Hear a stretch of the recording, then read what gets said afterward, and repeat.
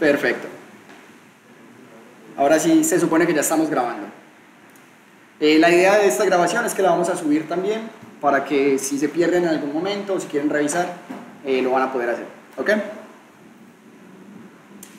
Si cuando estamos hablando, cuando estamos haciendo algo, tienen alguna pregunta o se están quedando o algo no les funciona, por favor levanten la mano, me informan y podemos mirar qué hacemos.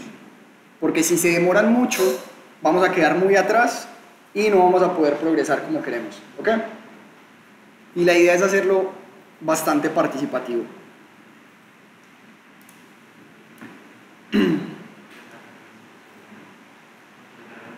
Dentro de la, dentro de la otra pestaña que es Unijades, van a encontrar el workshop que hicimos con eh, eh, la Universidad Católica del Salvador.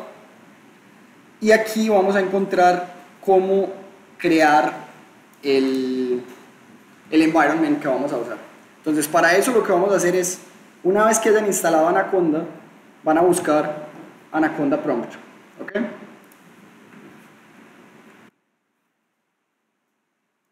Les va a aparecer algo como esto.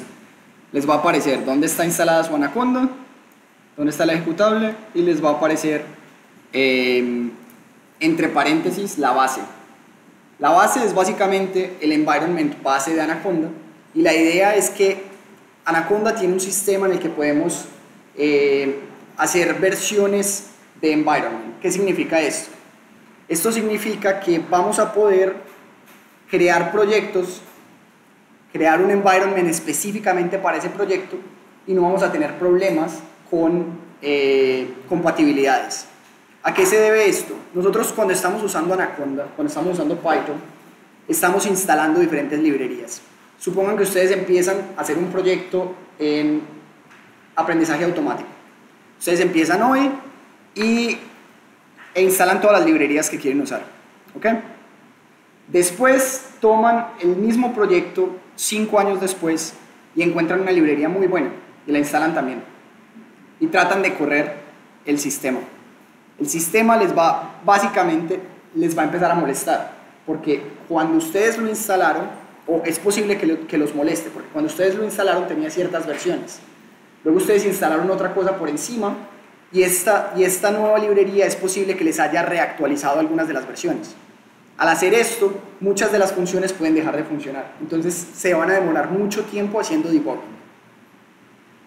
La idea entonces es hacer un environment solamente para el proyecto y siempre que vayan a usar ese proyecto, llaman el environment y no van a tener ese, ese tipo de problemas. ¿Alguna duda con respecto a eso? Ok, entonces, para crear un environment, vamos a utilizar lo que se llama Conda.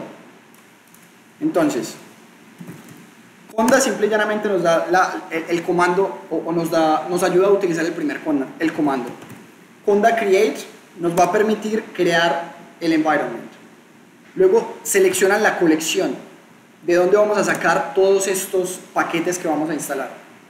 En este caso es Conda Forge. Luego le pueden dar el nombre. Entonces aquí, por ejemplo, le pueden decir, ok, pulsa.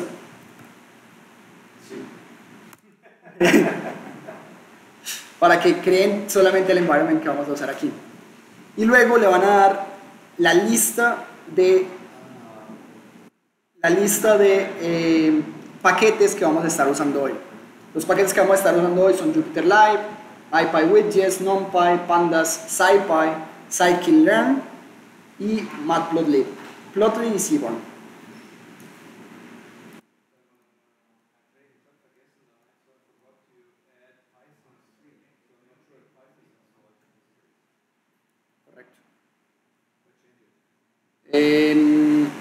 Una cosa que olvidamos es, básicamente tenemos que decirle que Python, qué versión de Python vamos a instalar.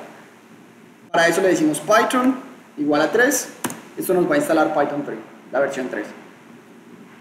So I new version on, uh, on, the, other page of the Wilsa now. Si vamos a la wiki de Wilsa ya tenemos la versión actualizada.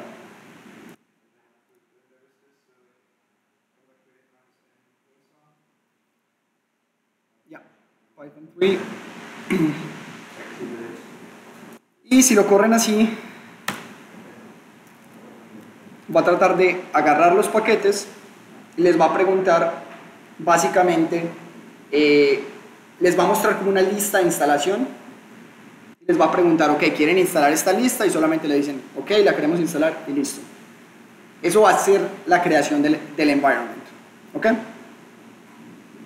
Una vez que ustedes creen un environment, hay que activarlo para poder empezar a trabajar con él. Para activar un environment solamente hay que darle el comando activate y el nombre del environment.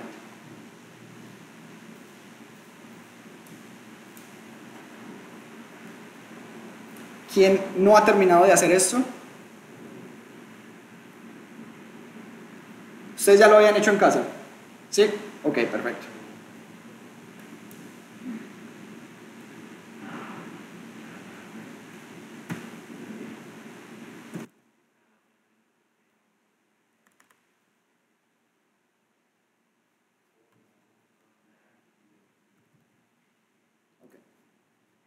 Entonces, como ustedes ya lo hicieron en casa, eso nos va a facilitar mucho las cosas. Supongamos que ya está instalado el environment. Entonces, lo único que vamos a hacer es conda activate y le van a dar el nombre del environment. Ja, ja, ich habe es noch nicht installiert. No le voy a dar Ulsa porque no he instalado todavía Ulsa. ¿sí? Eh, activa entonces Unicaes. O sea, si lo instalaste con Unicaes, es solamente para, para que mantengan exactamente. Install it? Takes a lot of time. Oh, really? It's still solving the environment. Em, pero also, they, they installed it anyways as, as Unicaes before, and it's the same thing. So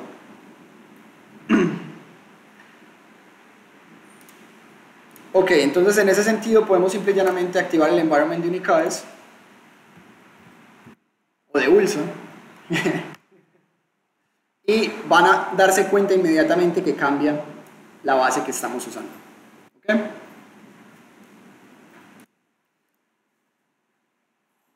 Otro comando, por ejemplo, importante es si quieren cambiar de environment, lo que pueden hacer es desactivar el environment. Desa- deactivate.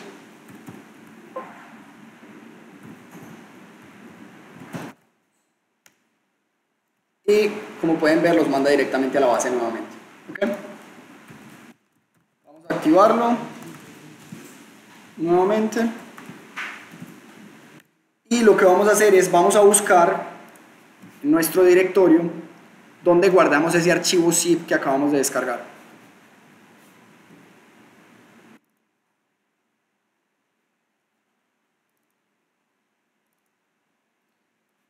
Entonces en mi directorio, esto está por acá, lo voy a extraer.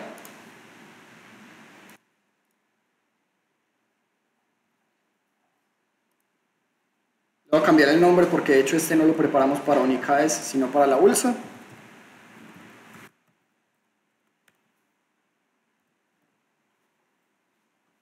Y voy a copiar el lugar donde, el path donde lo tengo guardado.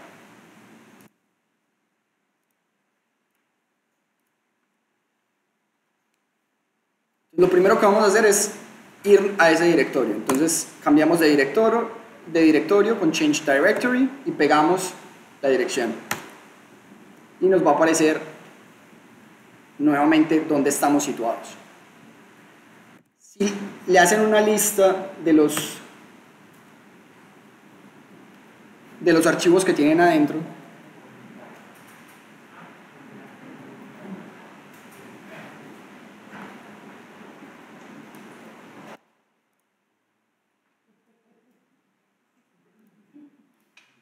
ist doch ls, oder? Es ist ls, von die, die Liste von die äh, Files, die da sind. Ja, LS oder ja. Aber jetzt zeigt mir nichts. Ah, ahí está. So, si le hacen una lista ls, les va a aparecer los archivos que tienen adentro. Y básicamente pueden usar el, pueden usar el prompt de Anaconda para navegar dentro de esos archivos. Entonces, por ejemplo, si nosotros quisiéramos ir un poquito más adentro, podríamos ir al directorio ULSA y solamente es necesario que ponga la primera parte del directorio con tab autocompleta y si le doy enter ya estoy adentro de ese directorio. También pueden navegar hacia afuera, cambiar directorio, doble punto y están una carpeta más afuera. Desde ahí vamos a llamar a Jupyter Lab y vamos a empezar con lo que queremos trabajar.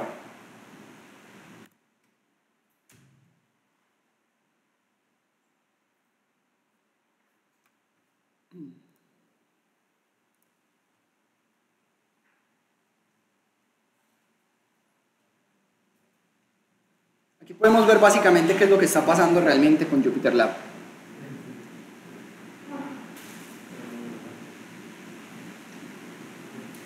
Vemos que básicamente nos está mostrando un montón eh, de, de, pasos que está haciendo para poder abrirlo.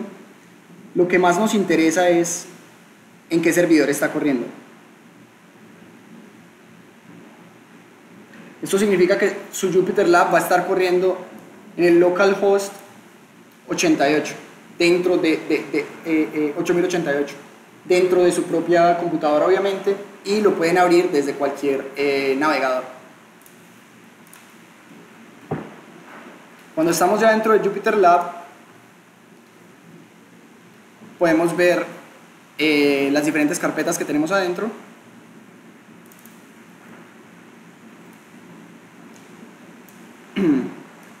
Aquí tenemos dos, o, queremos hacer énfasis en dos archivos importantes. El primero es el tutorial de Python de, em, de una clase del, MIT, que es el CS231. Eh, básicamente contiene un tutorial bastante resumido, pero con todas las cosas importantes que, deben aprender ustedes dentro de la parte de Python. Y básicamente ahorita vamos a estar usando el pequeño tutorial del workshop, que es un tutorial todavía más compreso em, para mostrarles como algunas de las funciones de, de, qué es lo que podemos hacer con Python antes de que empecemos para que puedan entender mejor lo que vamos a hacer con eh, conciencia de datos. ¿Hasta aquí me están siguiendo? Sí. Perfecto. Ya. Veanme.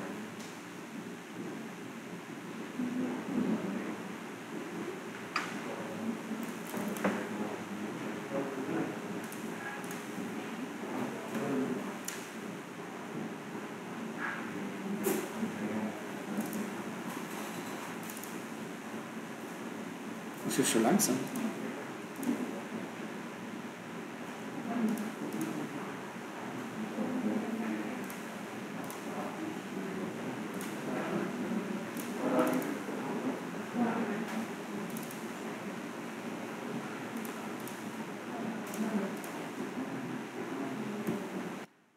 Pueden ver básicamente si estuviéramos instalando desde cero, les muestran todas las librerías que van a estar instalando dentro de los paquetes. O sea, los paquetes por lo general, o las librerías por lo general, instalan otras librerías que son dependientes. Entonces, aunque apenas les dimos como cinco paquetes, eh, como 2, 2, 4, 6, 8,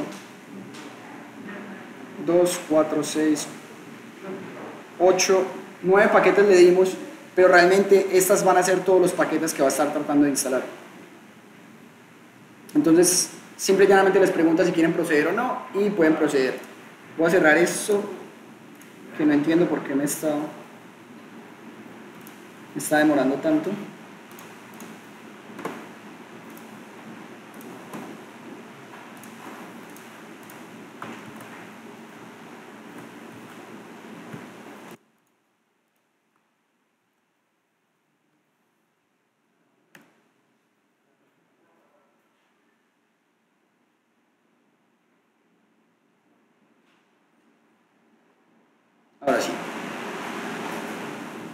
Básicamente lo que hice fue eh, detener el kernel.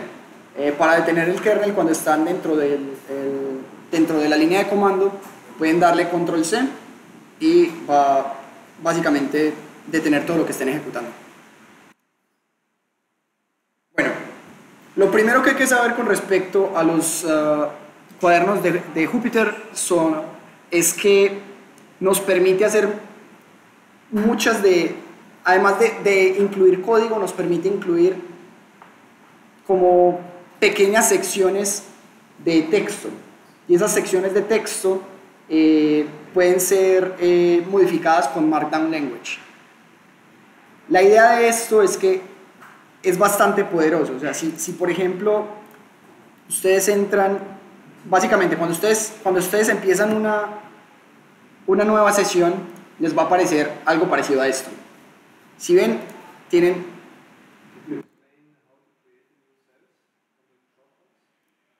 Eh, no, lo voy a hacer ahorita.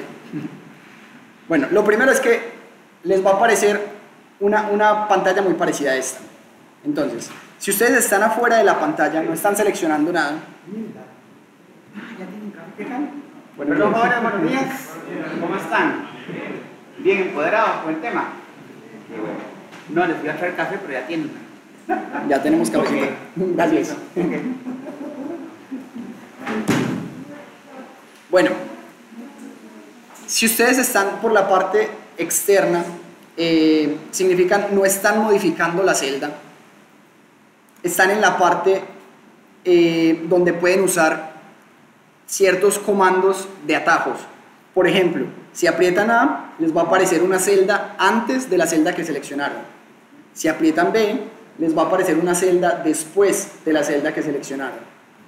Si aprietan eh, la tecla D dos veces, les va a eliminar la celda seleccionada. Pueden moverse dentro de las celdas con arriba y abajo. Y si aprietan Enter, pueden entrar a la celda y modificarla. Para correr una celda dentro del notebook, Control Enter. Y al correr la celda vas a estar nuevamente dentro de la parte de la modificación de shortcuts. Dentro de la parte de modificación de shortcuts, si aprietan la tecla M, ven que desaparecen los corchetes. Al desaparecer los corchetes significa esta celda no es de código, es Markdown. Y al no ser de código, podemos usar sistema de Markdown. Por ejemplo, si utilizo el, eh, el ampersand y, eh, perdón, el gato, el, el símbolo del numeral, el hashtag, Hashtag. y puedo, puedo hacer diferentes tipos de título. Por ejemplo, Unicaes es un título bastante grande. No. Ulsa.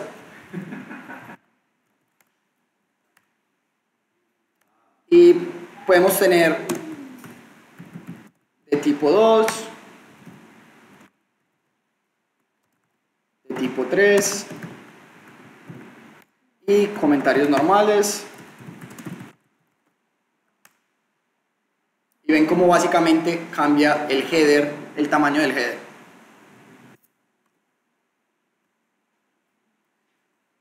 Otra cosa muy importante es que dentro de estos comentarios de Markdown podemos hacer cosas bastante interesantes. Una de ellas es que soporta el lenguaje LaTeX.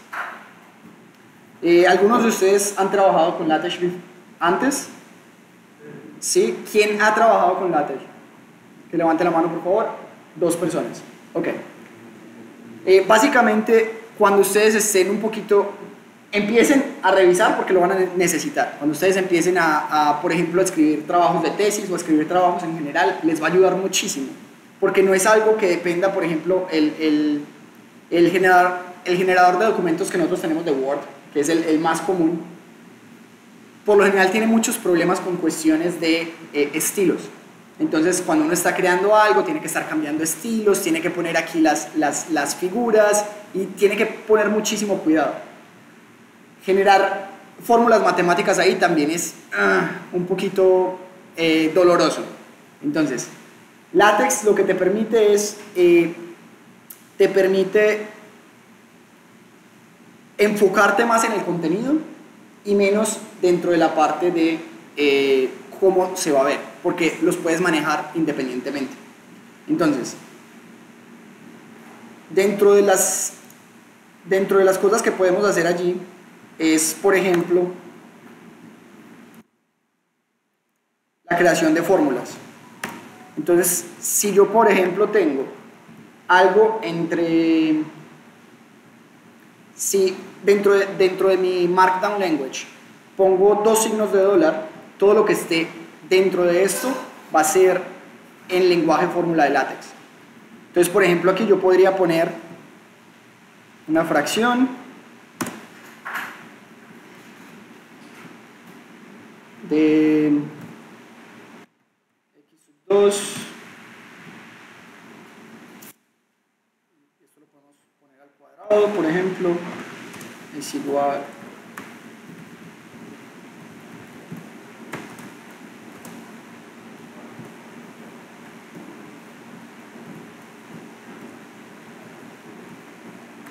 algo bastante sencillo.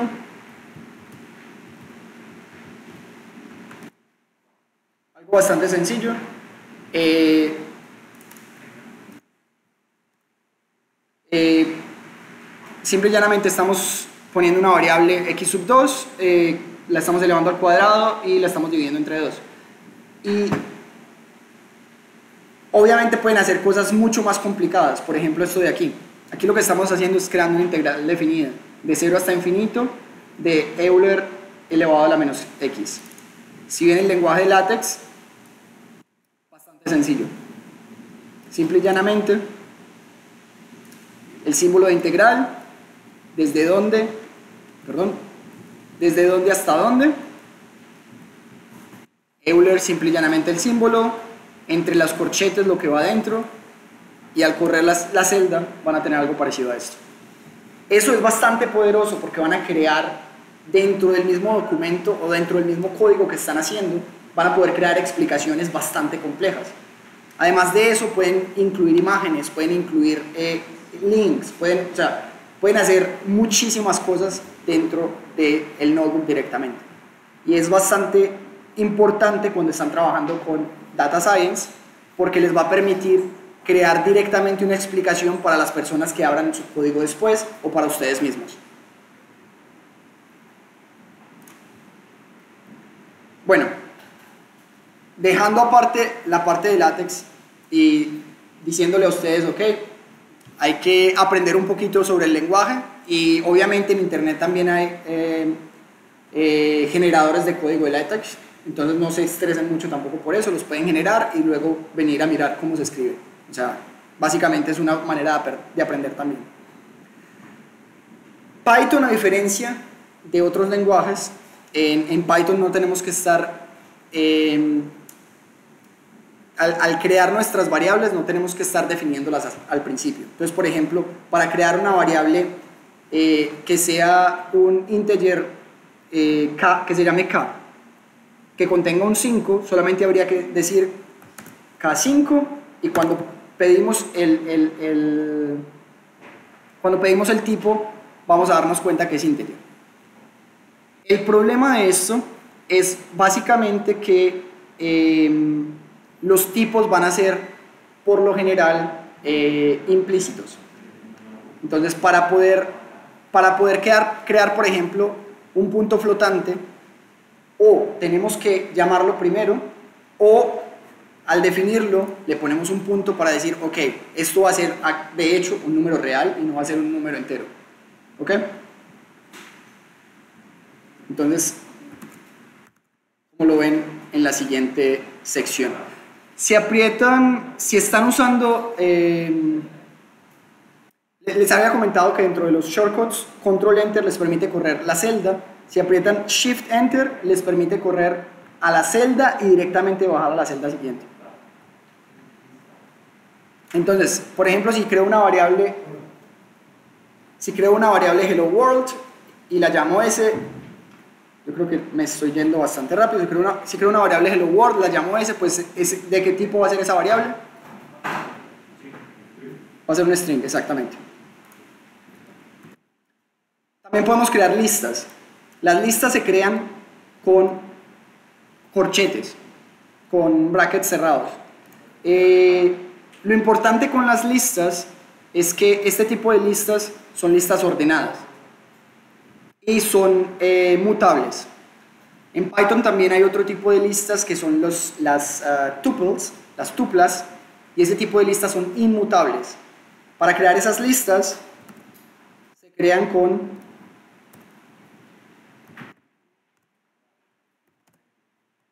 paréntesis.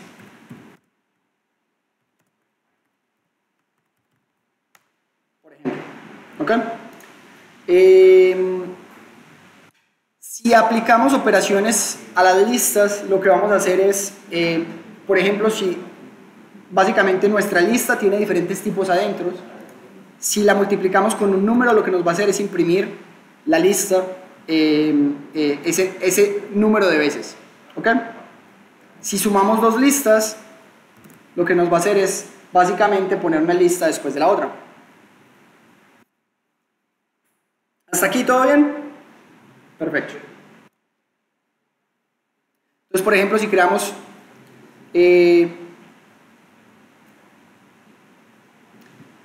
otra cosa importante es cuando estamos usando Python, el último, la última, cuando estamos usando los Jupyter Notebooks, la última línea de, nuestra, de, nuestro, de nuestro código es la que va a ser impresa, es la que nos va a salir como la parte del, del eh, como resultado.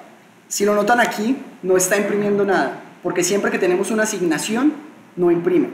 Para imprimir una asignación habría que literalmente decirle, ok, imprime lo que tengo en la lista. ¿ok?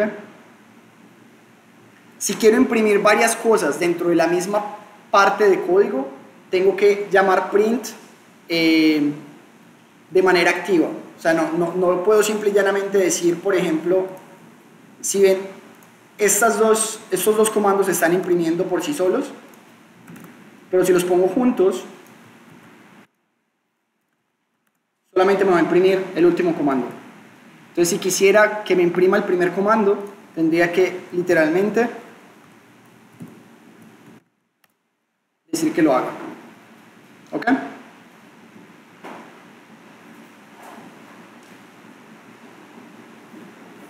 Queremos crear, por ejemplo, em, si, queremos elevar esta lista que acabamos de crear aquí al cuadrado, entonces podemos hacer eh, ciclos. Los ciclos en Python son relativamente sencillos. Podemos decir, ok, para x en x. Como ven, también es, eh, es sensitivo a las mayúsculas y a las minúsculas. Y podemos llamar que nos agregue algo dentro de la lista. Como les dije al principio, por lo general no tenemos que declarar las listas, pero si tratamos de correr esto nos va a mandar un error. Este tipo de errores es porque a pesar de que no tenemos que crear nada dentro de la lista, el objeto no existe. Y al, el objeto no existir no podemos incluir nada dentro de la lista directamente. Entonces antes de eso tenemos que llamar, tenemos que básicamente crear una lista vacía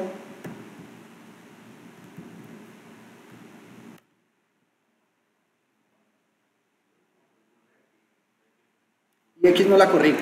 Ok.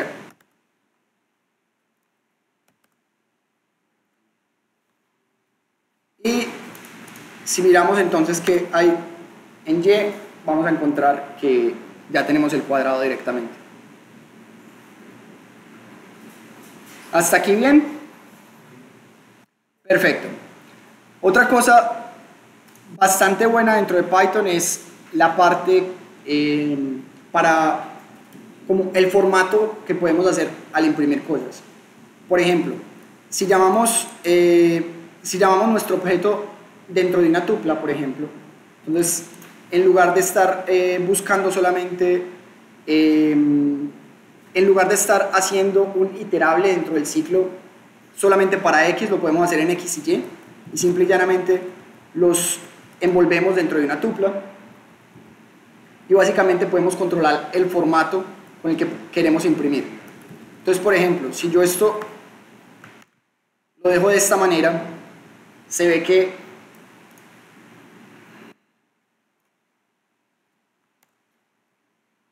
ve un poquito desordenado y se ve difícil, por ejemplo, de mirar. Eh, si estuviéramos hablando de muchos datos, se vería bastante movido los, los, eh, los datos. Entonces, hay maneras de controlar eso. Por ejemplo, para controlar eso, podemos decirle, ok, yo quiero imprimir, quiero que reserves tres espacios decimales para este tipo y para este tipo, que reserves, por ejemplo, dos espacios decimales. Y les va a aparecer algo más con mejor formato.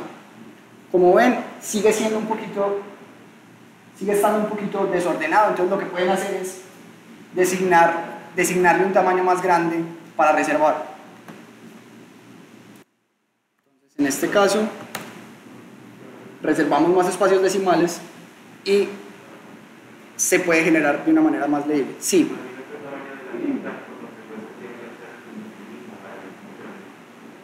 Sí, correcto. O sea, lo que puedes hacer es, puedes o designar el tamaño desde antes, porque muchas veces sabes cuál es el tamaño máximo que puedes tener dentro de los, eh, dentro de tus variables. O puedes, básicamente muchas veces también va dentro de, la prueba y error. Cuando estás, cuando estás haciendo visualizaciones, sean impresas o sean eh, visualizaciones en gráficos, siempre es importante mirar, ok, cómo se ve y cómo lo puedo mejorar. Hola. ¿Sí responde un poquito a tu pregunta?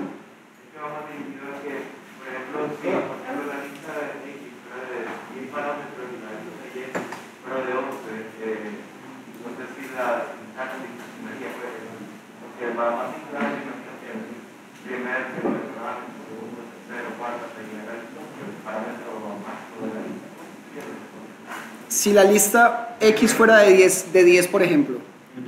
No, o sea, la, la, los elementos de la lista. Sí. O sea, la lista, sí. Ok, si, si la, la, longitud de la lista X fuera de, de, de, de, 10 y la otra, claro, ellos tienen que ser del mismo tamaño para poder, para poder correr de esta manera. Si no son del mismo tamaño, de todas maneras funciona. Lo que va a hacer, lo que va a pasar, vamos a hacer el, vamos a hacer el intento. Por ejemplo, yo lo que puedo hacer aquí es solamente elegir eh, los últimos tres valores de y.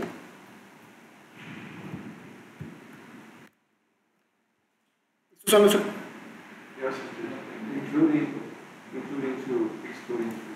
Exacto.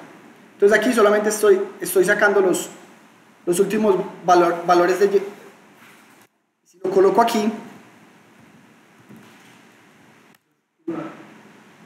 esto pasa. Entonces él, trata de acomodarlo dentro del, del, tamaño menor. Es bastante problemático. Es bueno que siempre hagan una revisión desde antes, porque básicamente aquí pueden creer que solamente tienen tres datos en las dos listas, o tienen listas de tamaño 3, cuando no es cierto. Realmente son de tamaños diferentes.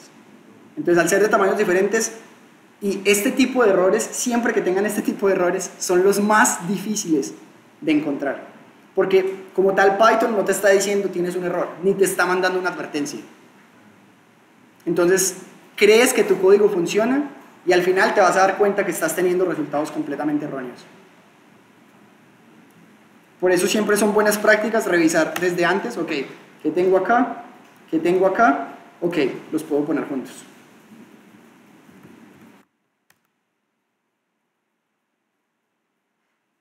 ¿Hasta aquí? ¿Todo bien? Perfecto. Vamos a empezar entonces ya a hablar de eh, librerías. Una de las librerías es Numerical Python. Numerical Python surge eh, para hacer básicamente operaciones numéricas y operaciones matriciales de una manera mucho más óptima. Entonces, uno de los, de los tipos más comunes del, del número de de numerical Python es el, es el array. Entonces, para importar una librería yo la puedo importar con el nombre de la librería o la puedo importar con un alias. ¿Ok? En este caso lo vamos a importar con un alias para no estar escribiendo todo el tiempo numpy. eh, y, después el, comando, simple y llanamente lo puedo hacer eh, con np, el alias, y llamo mi array.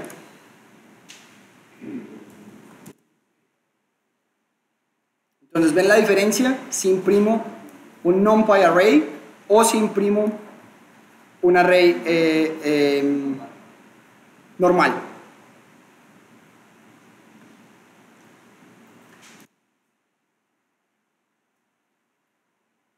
¿Qué pasa si elevamos al cuadrado el numpy array? Nos aparece que está siendo elevado al cuadrado.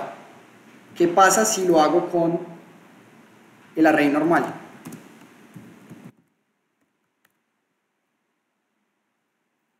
Entonces, básicamente, el NumPy Array te permite hacer operaciones matriciales adentro. O sea, inherentemente, ¿qué es lo que estás haciendo? Estás tomando cada uno de los, de los elementos y lo estás elevando al cuadrado.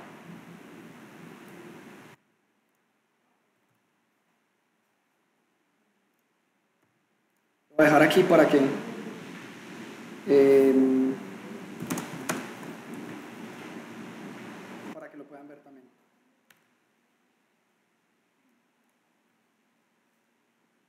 Ok. Otra cosa interesante del NumPy Array es que nos permite crear eh, arreglos bastante rápido. Por ejemplo, con arrange. Si nosotros usamos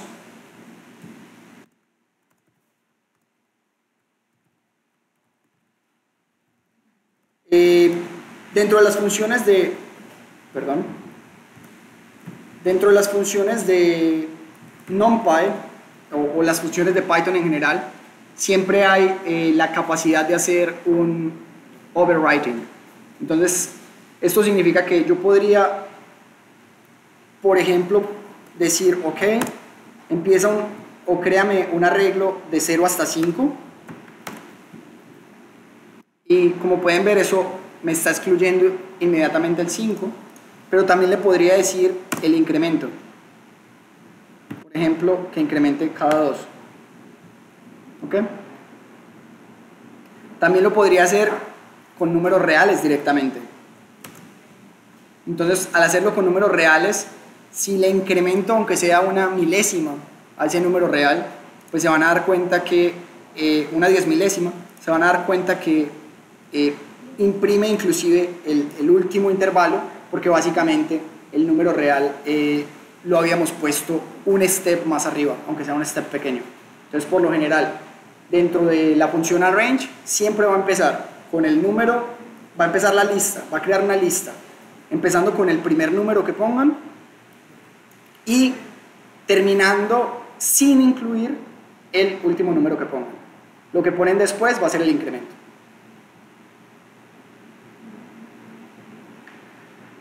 Finalmente, para terminar un poquito como dentro de esta pequeña introducción, dentro, ¿hasta aquí todo bien? ¿Sí? Bien. Para terminar un poquito esta, esta pequeña introducción, vamos a hablar de eh, Matplotlib. Entonces, básicamente, la idea de estarles mostrando todo esto es que dejen de usar Excel, por favor. Eh, todo lo que ustedes estén haciendo en Excel lo pueden hacer con Python, lo pueden hacer mucho más rápido, lo pueden hacer con mucho más control, pueden tener mucho más control en la manera en la que están eh, haciendo los gráficos, por ejemplo. Eh, y además de eso, lo pueden integrar a ciertas, eh, como a ciertas pipelines que les van a ayudar a reusar su trabajo muchísimo mejor que si solamente lo tienen en Excel. Obviamente ustedes también pueden llamar las cosas desde Excel, pero las capacidades que tiene Excel son bastante limitadas si, los están, si, si lo comparamos con Python. Entonces, lo primero es importar la librería y para usar Matplotlib lo primero que hacemos es definimos una figura y definimos eh, un, un axis.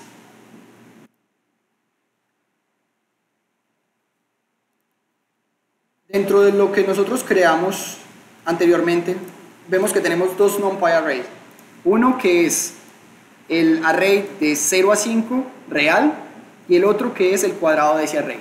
¿Ok? Solo para estar seguro que sí los corrí. Entonces, dentro de las, dentro de las cosas interesantes que tenemos de, de NumPy Array es, por ejemplo,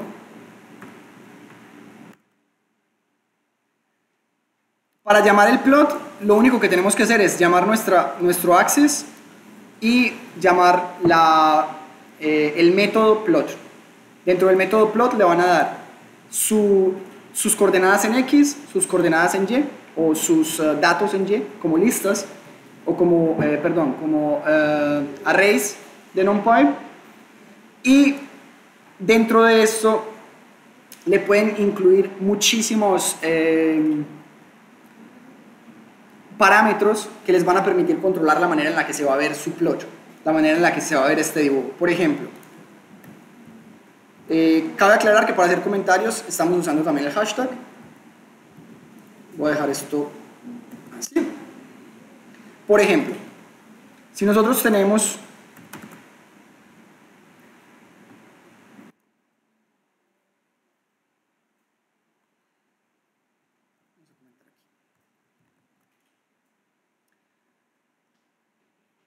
sería el básico ejemplo que ustedes tendrían, por ejemplo, en, Excel. Ustedes simple y llanamente agarran dos, dos eh, eh, datos y los grafican. Entonces ustedes dicen, no, me gustaría tener esto un poquito más bonito. O sea, lo primero es que me gustaría saber realmente dónde están los puntos que, que estoy mirando. O sea, este punto de aquí a qué punto corresponde. Eso no lo puedo ver de manera directa, pues me va a demorar un poquito más.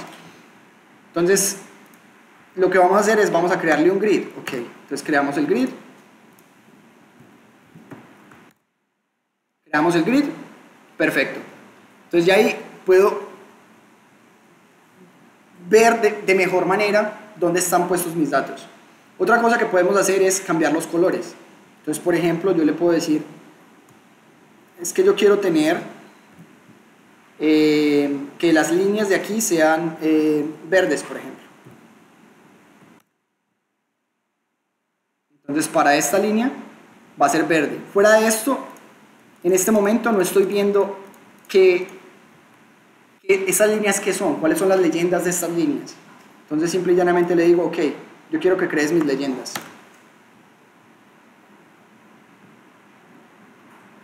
Em, como pueden ver, solamente estamos creando la leyenda de la línea verde, porque aún no le, no le hemos dado un nombre a la línea azul. Entonces, para hacer eso, simple y llanamente, llamamos la función label y si se dan cuenta, dentro del string, básicamente puedo usar también formato LaTeX. Entonces aquí le estoy diciendo, quiero una línea azul y le podría decir, bueno, es que no quiero una línea, quiero puntos quiero tener los puntos conectados. Y todo eso solo con un pedacito de código. Fuera de eso, pueden colocar obviamente los nombres y los nombres que coloquen dentro de sus, eh, dentro de sus access van a ser, también los pueden poner en formato LaTeX.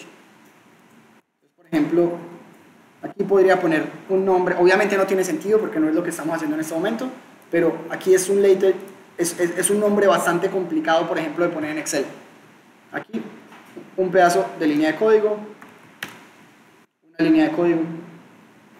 Siempre es importante que llamen, eh, que llamen la función show al final de su, de, que están usando matplotlib, porque eso es lo que les va a permitir que haga una actualización del, del, del plot.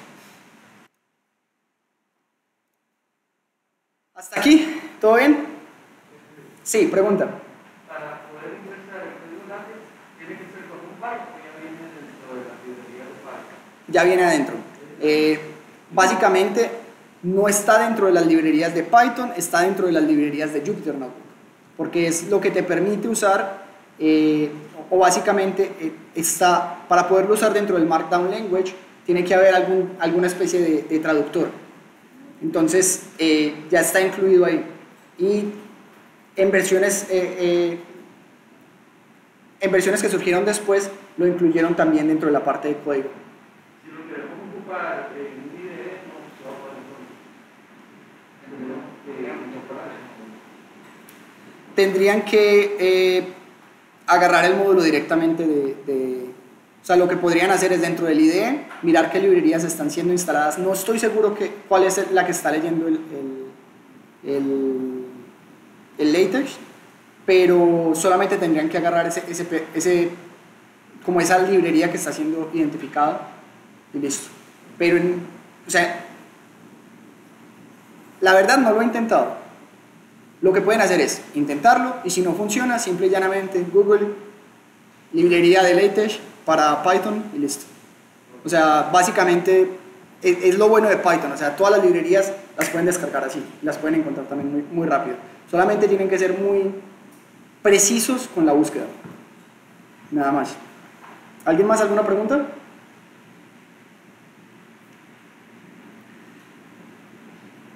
Les recomiendo mucho, sobre todo cuando apenas están empezando con, eh, a trabajar con Python, a revisar este tutorial.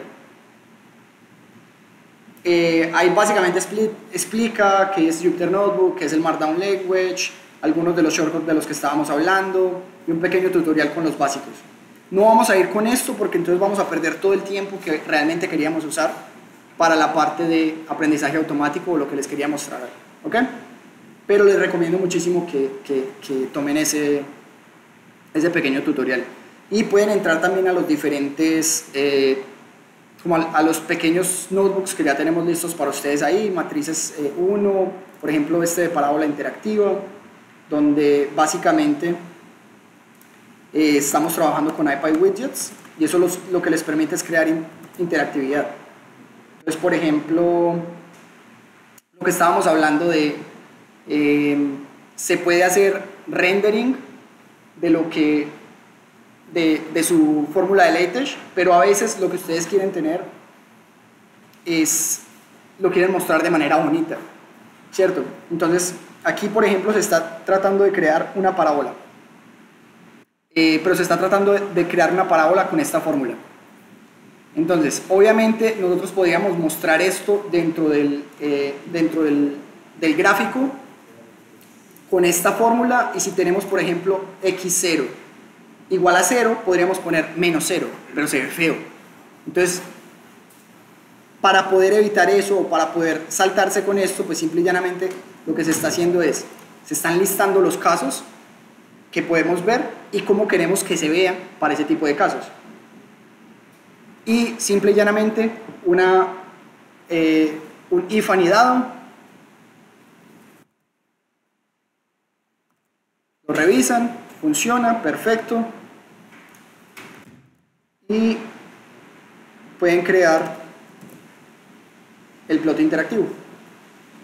Entonces, lo que les permite el iPad Widgets es crear precisamente este tipo de gráficos donde pueden básicamente mover el slide y ahí lo que estamos cambiando es por ejemplo C, pueden cambiar el dónde va a estar empezando el, el, su parábola.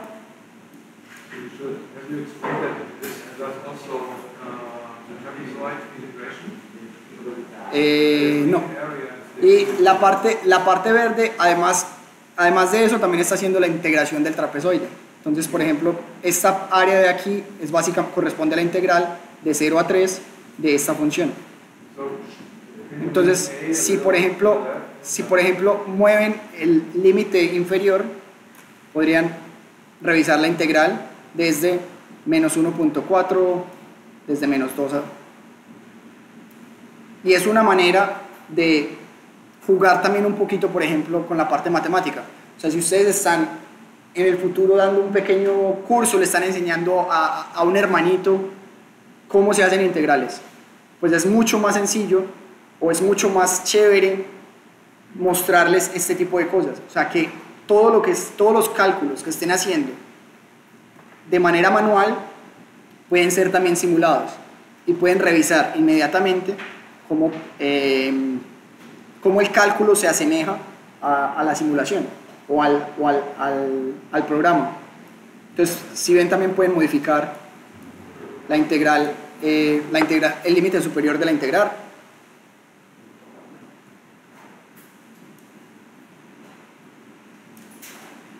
Pueden modificar la inflexión y todo eso solamente con, eh, con la parte interactiva. Si ven esta parte de aquí es la que crea los slides, entonces simple y llanamente se dan los límites de los slides y el incremento cada vez que se mueva. Y todo eso se puede cambiar, todo eso. Y básicamente es código que no lo estamos inventando nosotros. O sea, simple y llanamente tienen una idea, Google, ¿cómo, cómo hago para colocar este slide? Desaparece.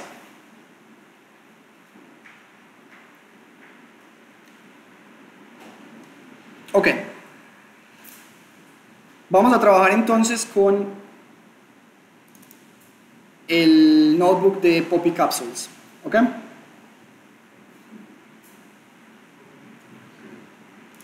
Que este es el notebook que les había mostrado la vez pasada. Donde vamos a estar haciendo un poquito de aprendizaje automático. ¿Ok?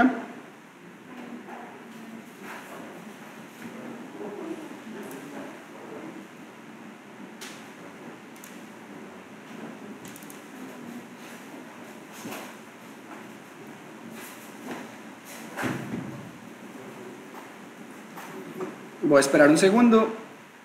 Me dicen cuando todos estén.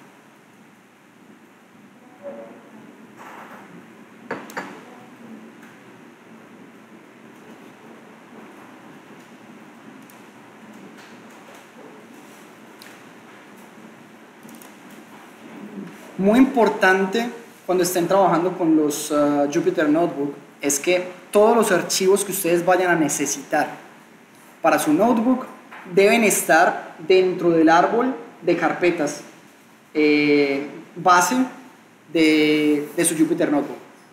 Esto que hicimos al principio de cambiar el directorio, básicamente sobre ese directorio, esa va a ser la base de nuestro Jupyter Notebook. Entonces, todos los archivos que estén por fuera de este directorio, de este directorio de acá, eh, no, perdón, de este directorio de acá, no van a ser legibles por el Jupyter Notebook. Entonces, todo lo que ustedes quieran poner adentro o todo lo que ustedes quieran usar debe estar dentro. Si ven, este es básicamente el árbol base que ustedes van a estar usando. Entonces, por ejemplo, dentro de Poppy Capsules, si yo quisiera, eh, si yo quisiera leer datos que están en esta carpeta de data de manera relativa, pues voy a tener que colocar esa carpeta de data en la misma base de mi eh, ejecutable de, de Jupyter Notebook. Entonces, eh, básicamente estos datos, eh, vamos a hablar un poquito de dar, eh,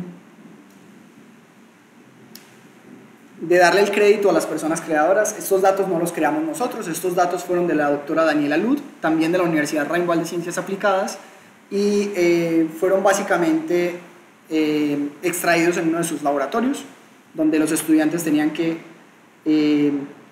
tomar estas cápsulas de amapola y básicamente hacer las mediciones. ¿ok? Entonces, lastimosamente no contamos con las imágenes, solamente tenemos la parte de los datos una vez medidos y traducidos a una tabla.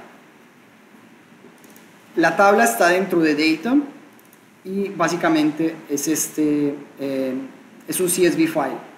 Antes de trabajar con cualquier, eh, con cualquier archivo, siempre es muy recomendable revisar qué es lo que hay adentro. Si ven el CSV file con el que vamos a trabajar, básicamente explica qué es, son diferentes eh, eh,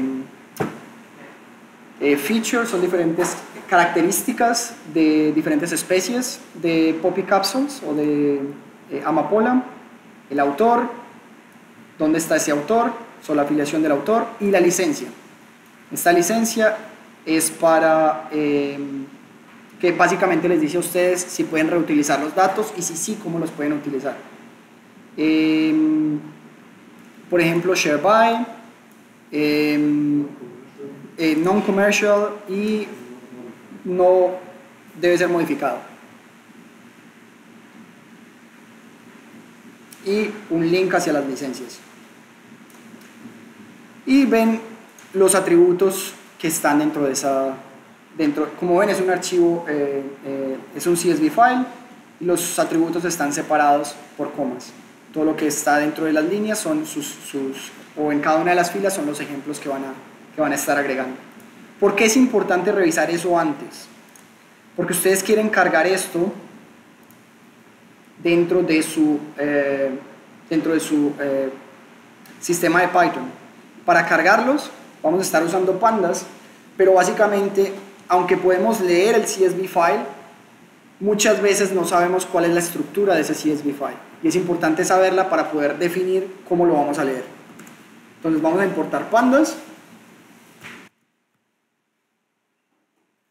Y al importar pandas, podemos con la función read CSV leer eh, eh, CSV file eh, simple y llanamente le dan la dirección donde está eh, ubicado.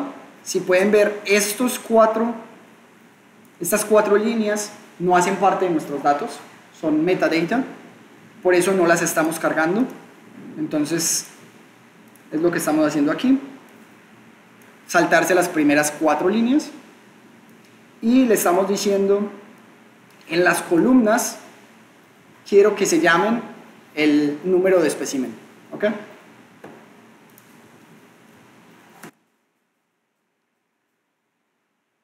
Levante la mano quien ha trabajado con pandas.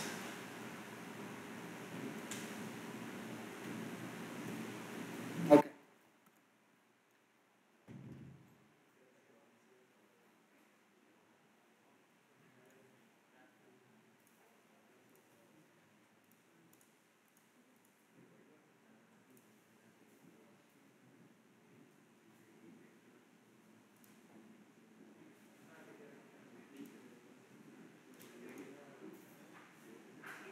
Un segundo.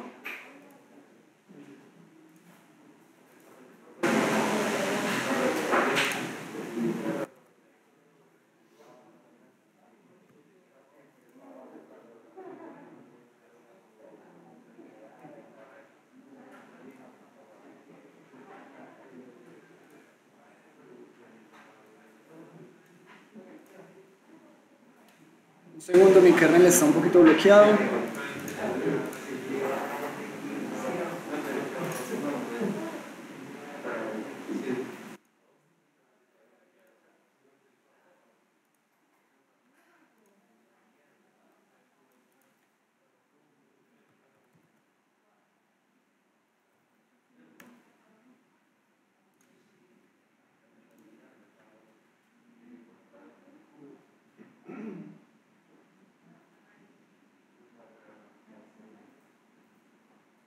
Ok.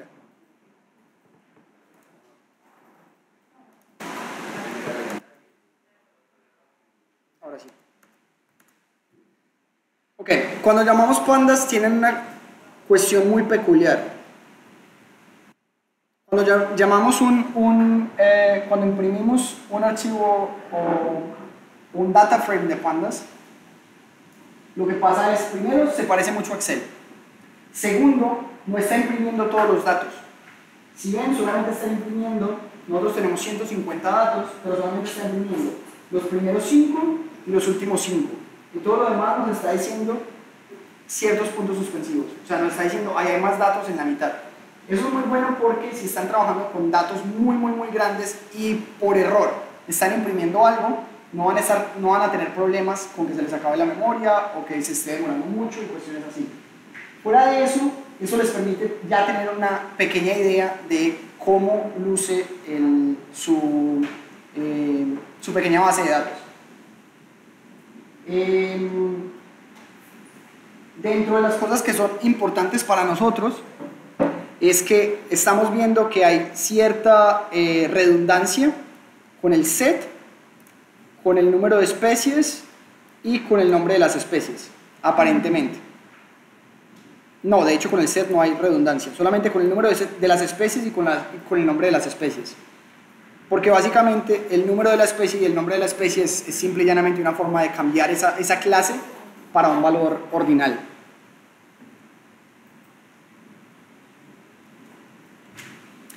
Eh, If you press control, control E, you are basically uh, hiding the, the browser, the file browser on the left hand. ah, ya, danke. And then you can zoom in a bit more.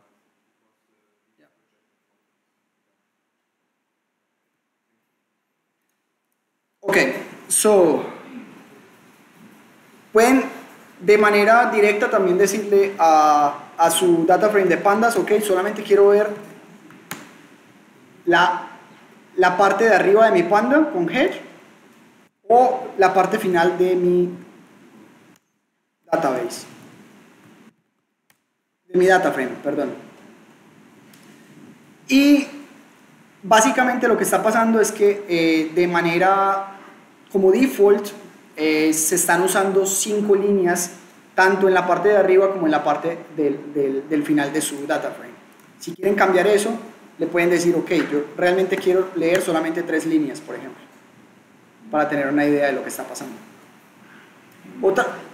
Otro, eh, otro método bastante interesante es llamar la información. Al llamar la información se pueden dar cuenta qué tipo de datos tienen adentro de su data frame y cuántos, eh, cuántos valores tienen que no, que no están faltando. O sea, si ustedes saben que tienen 150 líneas dentro de su data frame, aquí 150, y que todos los objetos o todos los features que están leyendo tienen 150 valores que no están vacíos, de manera directa les está diciendo, ok, no hace falta, o sea, no hay ninguno de esos campos que no tenga datos. Puede que los datos estén mal, pero al menos no están faltando. Otra cosa importante es el tipo. Si ven, tenemos un tipo objeto y tenemos un integer eh, 64 y tenemos punto flotante 64. El- los objetos podemos ver que de hecho son strings. Entonces, el string no está marcado directamente como, como un tipo string, sino que está marcado como tipo objeto, que es algo que tienen que tener en cuenta también. Sí. Si queremos ver la mitad de la tabla de datos. Si quieren ver la mitad de la tabla de datos, Sí. de este panda, por ejemplo, Ajá, sí. podrían llamar la longitud, por ejemplo, de su poppy, y lo pueden dividir a la mitad, por ejemplo. Y que sea la mitad superior, por así decirlo.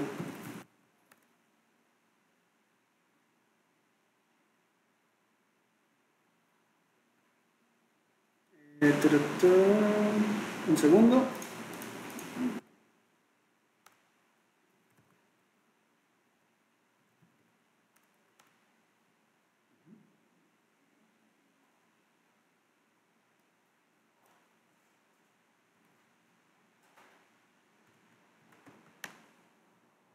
Ah, Ok, no les permite hacer división directamente por cuestiones de... eh, pero podrían llamarlo desde antes.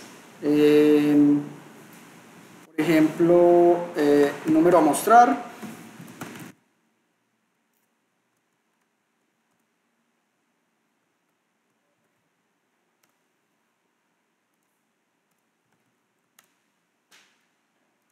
Ya estamos teniendo un problema con que es punto flotante, entonces simple y llanamente lo hacen un wrapper como integer. De hecho ese era el problema que estábamos teniendo. Y ahora sí lo pueden llamar aquí. O directamente como integer. Ya están leyendo la mitad. Eh, perdón. Head 150.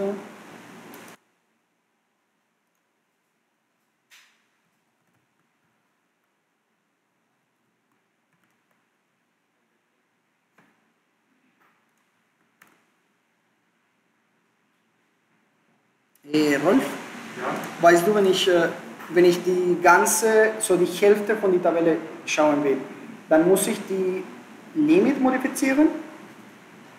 Also wenn ich nicht nur ein Head, so richtig.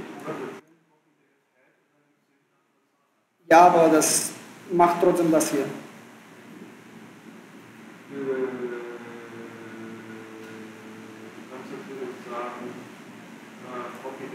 Gib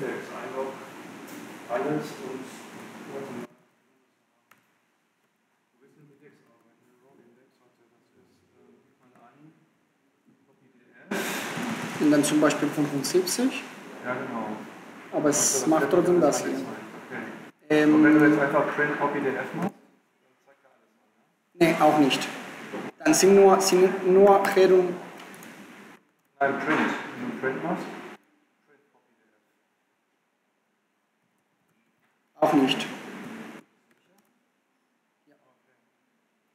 Em, pero básicamente lo que podemos hacer es dentro del dentro de la documentación de Head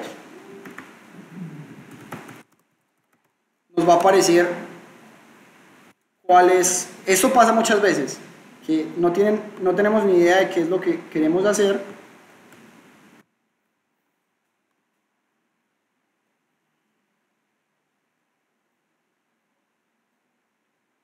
Y hay una manera de cambiar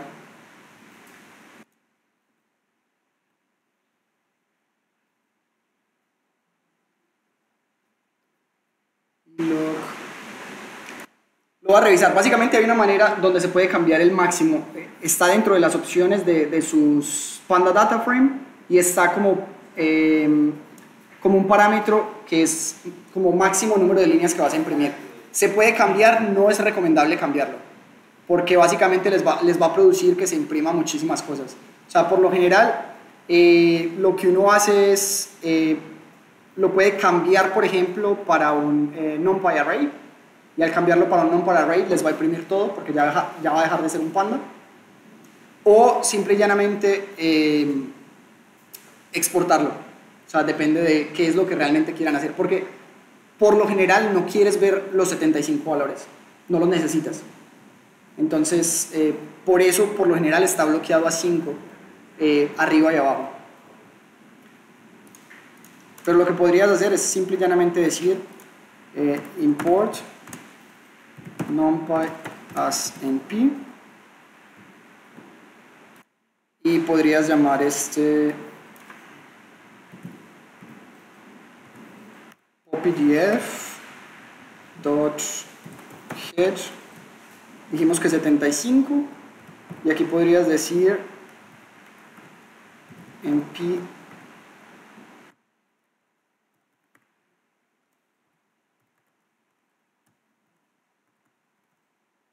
ah no lo he corrido. Segundo. As array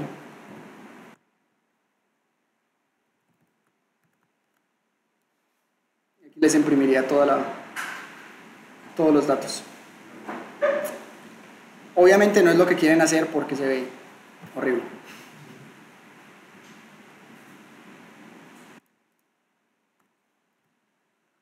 Ok.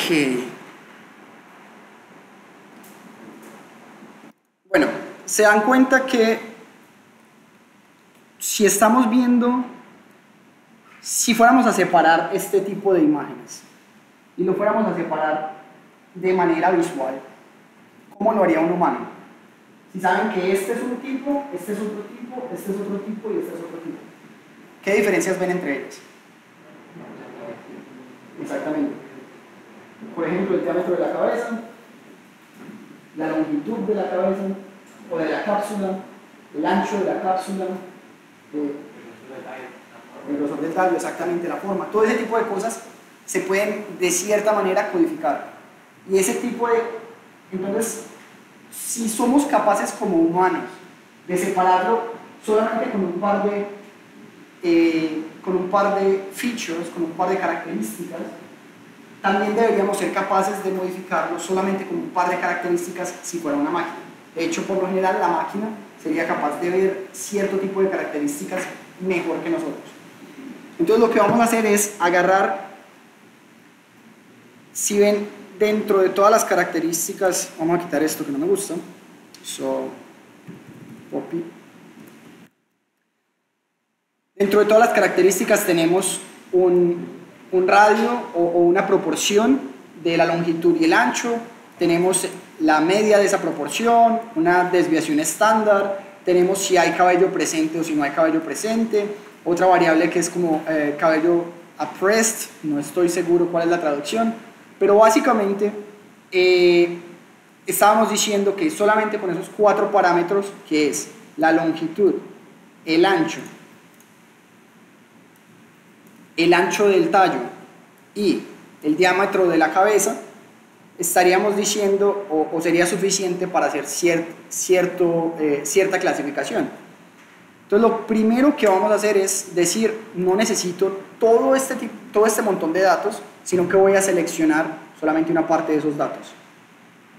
Para hacer eso, lo que podemos hacer es simple y llanamente, se llama dentro de corchetes, o hay, hay varias maneras de hacerlo. La primera es llamar dentro de corchetes los nombres de las variables que queremos tener a un lado, como una lista. Y aquí nos va a aparecer eh, eh, nuestra nueva lista, por así decirlo. El problema con esto, o, una de las cosas que, hay que tener en cuenta es que lo único que estamos haciendo aquí es una cuestión que se llama slicing, que es tomar, seleccionar ciertas features de, de todo el data frame que tenemos. Si yo imprimo POPIDF otra vez, la voy a tener completa. Entonces lo que tenemos que hacer es, hay dos maneras, o usar filter, que filter lo que va a hacer es eh, directamente eh, sacar esas, esas, eh, em, esos, esas columnas que nosotros elegimos y ponerlo dentro de una variable, o como lo hicimos anteriormente y colocarlo también dentro de una variable, o por lo general los pandas data frame tienen una función que se llama inPlace.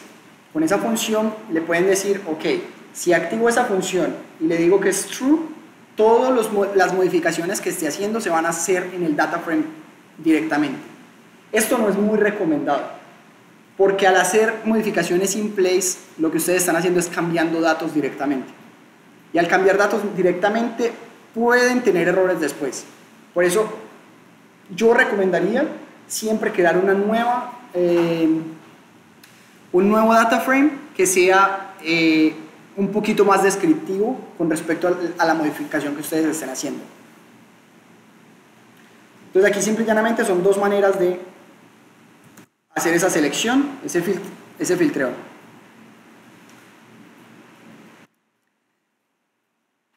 Cuando estamos haciendo, eh, cuando estamos revisando diferentes columnas o diferentes características dentro de un data frame, es muy difícil hacer una representación de ellas en dos dimensiones, porque básicamente tienen más de dos dimensiones. En este caso estamos hablando de cuatro dimensiones, ¿ok? De hecho, cinco dimensiones si incluimos la categoría. Entonces, una manera de revisar eso es con Seaborn. Seaborn lo que permite es, es eh, básicamente eh, hace gráficos relativamente sencillos y son gráficos que se ven ya muy profesionales. Lo que vamos a hacer aquí es un pair plot. Pair plot básicamente lo que va a hacer es que va a agarrar cada una de esas características y las va, eh, va a hacer un, un, eh, un scatter. ¿Saben qué es un scatter plot? Básicamente es colocar una característica en Y, colocar una característica en X y hacer el gráfico de ellas. Pero, ¿qué pasa con esto? Como estamos agarrando cada una de las características, aquí lo ven, entonces básicamente lo que le estamos diciendo es, le estamos dando el, el data frame que vamos a usar, le estamos diciendo cómo queremos que sea el color, en este caso el color queremos que sea con el nombre de las especies, esta columna y le estamos diciendo eh, básicamente con respecto al tamaño de cada uno de estos, eh, de cada uno de estos gráficos. Como pueden ver,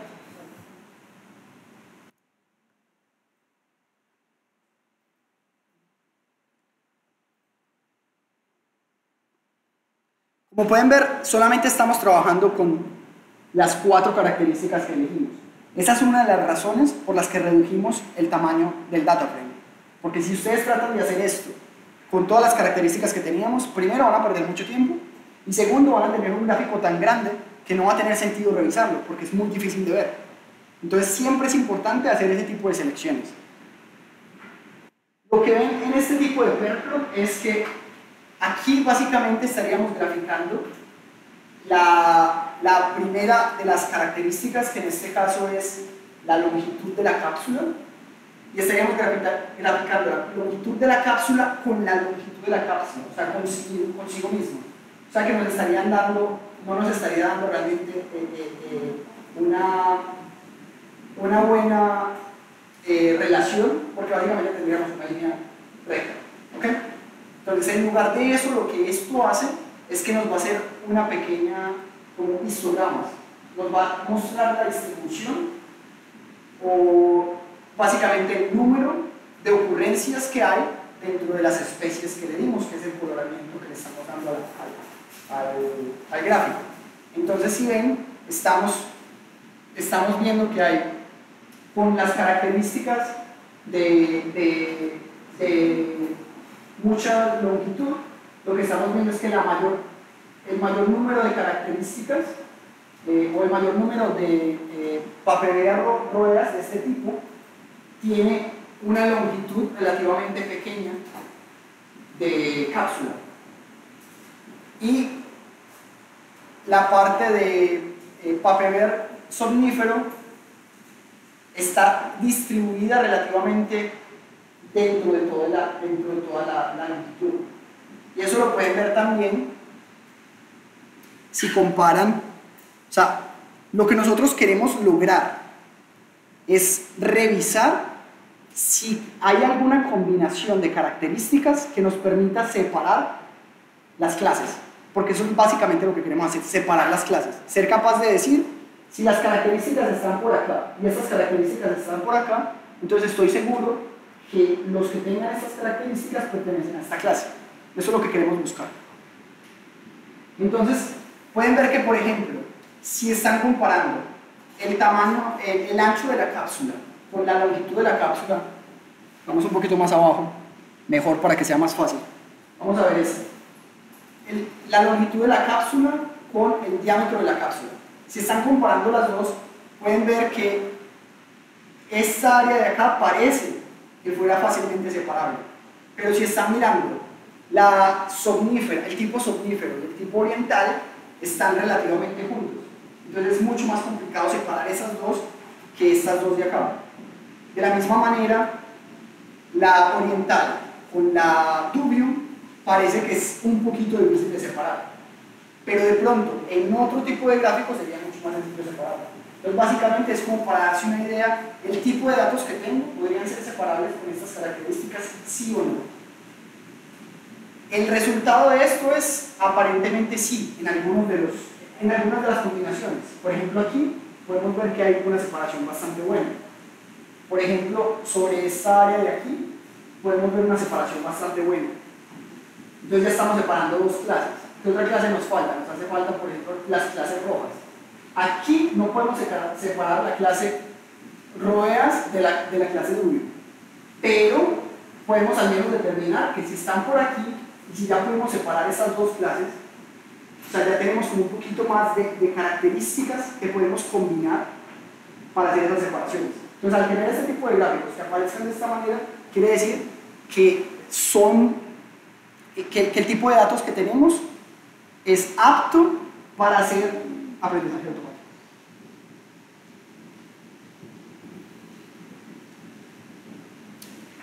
Este es un ejemplo donde los datos son relativamente fácil separables. Van a haber ejemplos donde ustedes van a encontrar demasiado, eh, demasiada sobreposición de las clases. Y ahí lo máximo que pueden hacer es trabajar con intervalos de confianza. Obviamente se puede, se, puede, se puede hacer, pero solamente se puede trabajar con, con intervalos de confianza.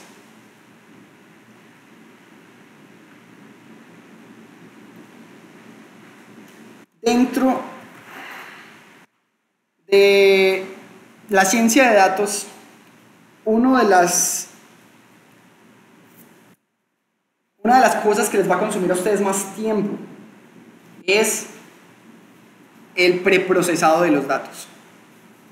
Básicamente, el 80% del tiempo que ustedes van a estar consumiendo en este tipo de ciencia de datos es cómo hago para que mis datos sean fáciles de trabajar.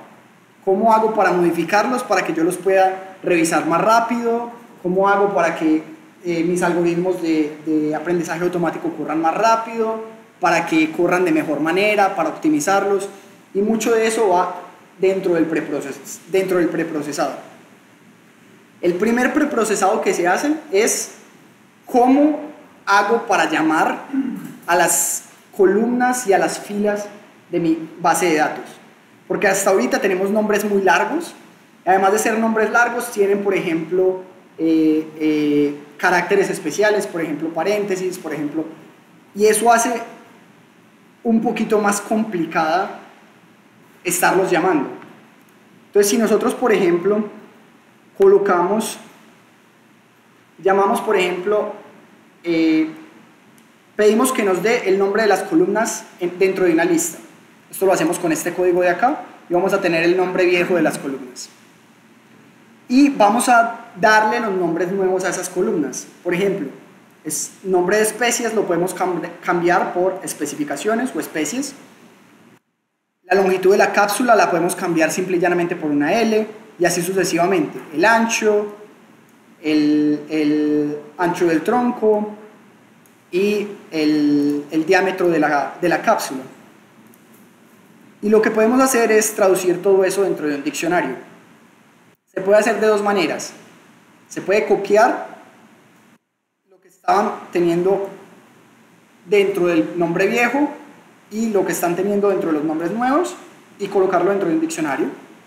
Los diccionarios en Python se crean con llaves, luego entre comillas va a ir el nombre del key, de la clave, y después de los puntos va el valor del diccionario. ¿Ok?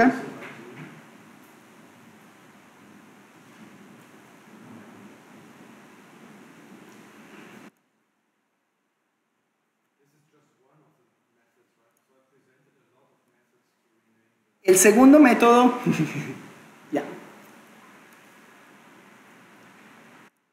Y básicamente si corren, el problema con esto es que van a tener que estar copiando mucho. Entonces una manera de automatizarlo es, ok, vamos a crear un diccionario o una variable de tipo diccionario y va a estar vacía. Y simple y llanamente, ¿se acuerdan cómo hicimos lo de la lista? Para popular la lista, vamos a hacer exactamente lo mismo. Para cada key y cada value en esta tupla de eh, viejas columnas y nuevas columnas, lo que quiero hacer es colocar dentro del diccionario, de la, de la key del diccionario, quiero colocar el valor. Y esto lo que va a hacer es popular su diccionario y les va a dar exactamente el mismo resultado.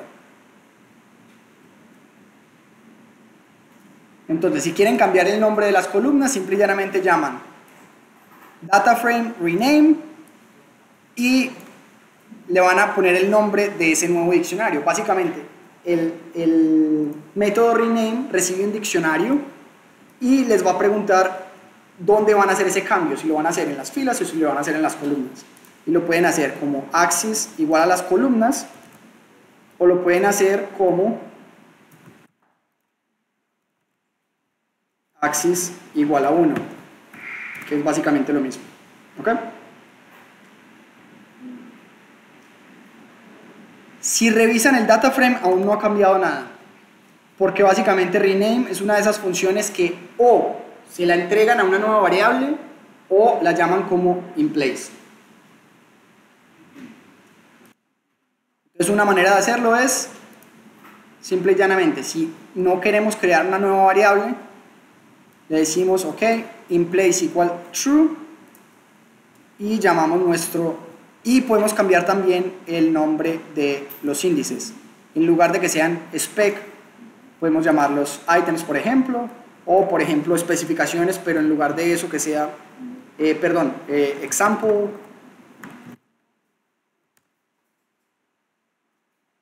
o como ustedes lo quieran poner.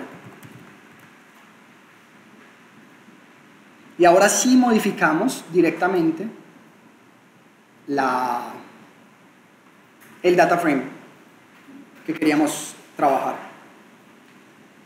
Otra cosa que podemos cambiar es, si ven todos los nombres, empiezan por lo mismo. Papa Entonces lo que podemos hacer es simple y llanamente modificar ese, ese string y cambiarlo por una abreviación. Entonces, simple y llanamente lo que están haciendo es accediendo a la columna, diciendo, ok, quiero acceder a, las, a, los, a los comandos que tienen que ver con strings y quiero usar el comando reemplazar. Y voy a reemplazar papaver con p. Y eso lo que va a hacer es buscar dentro de toda la columna que ustedes tienen por cada uno de los datos, lo va a reemplazar.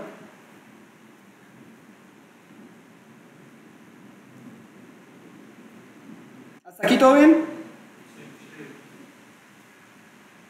Ok. Dentro de las cosas que estábamos diciendo es que hacer un gráfico con tantas variables es muy complicado. Plotly nos permite hacer gráficos en tres dimensiones y además de hacer gráficos en tres dimensiones nos permite también interactuar con ellos un poquito. Entonces lo que nos va a crear es un, es un gráfico que, al que podemos, mejor dicho, lo voy a correr y les voy a mostrar básicamente cómo lo crea. Es importante darle un nombre a la figura, le vamos a dar el data frame que queremos dentro de la figura y le tenemos que dar qué variables va a, va a usar en X, qué variables va a usar en Y y qué variables va a usar en Z. Fuera de eso, lo que queremos es, entonces en este caso vamos a revisar solamente la longitud de la cápsula, el ancho y el diámetro de la cápsula. No estamos teniendo en cuenta el tallo. ¿Ok?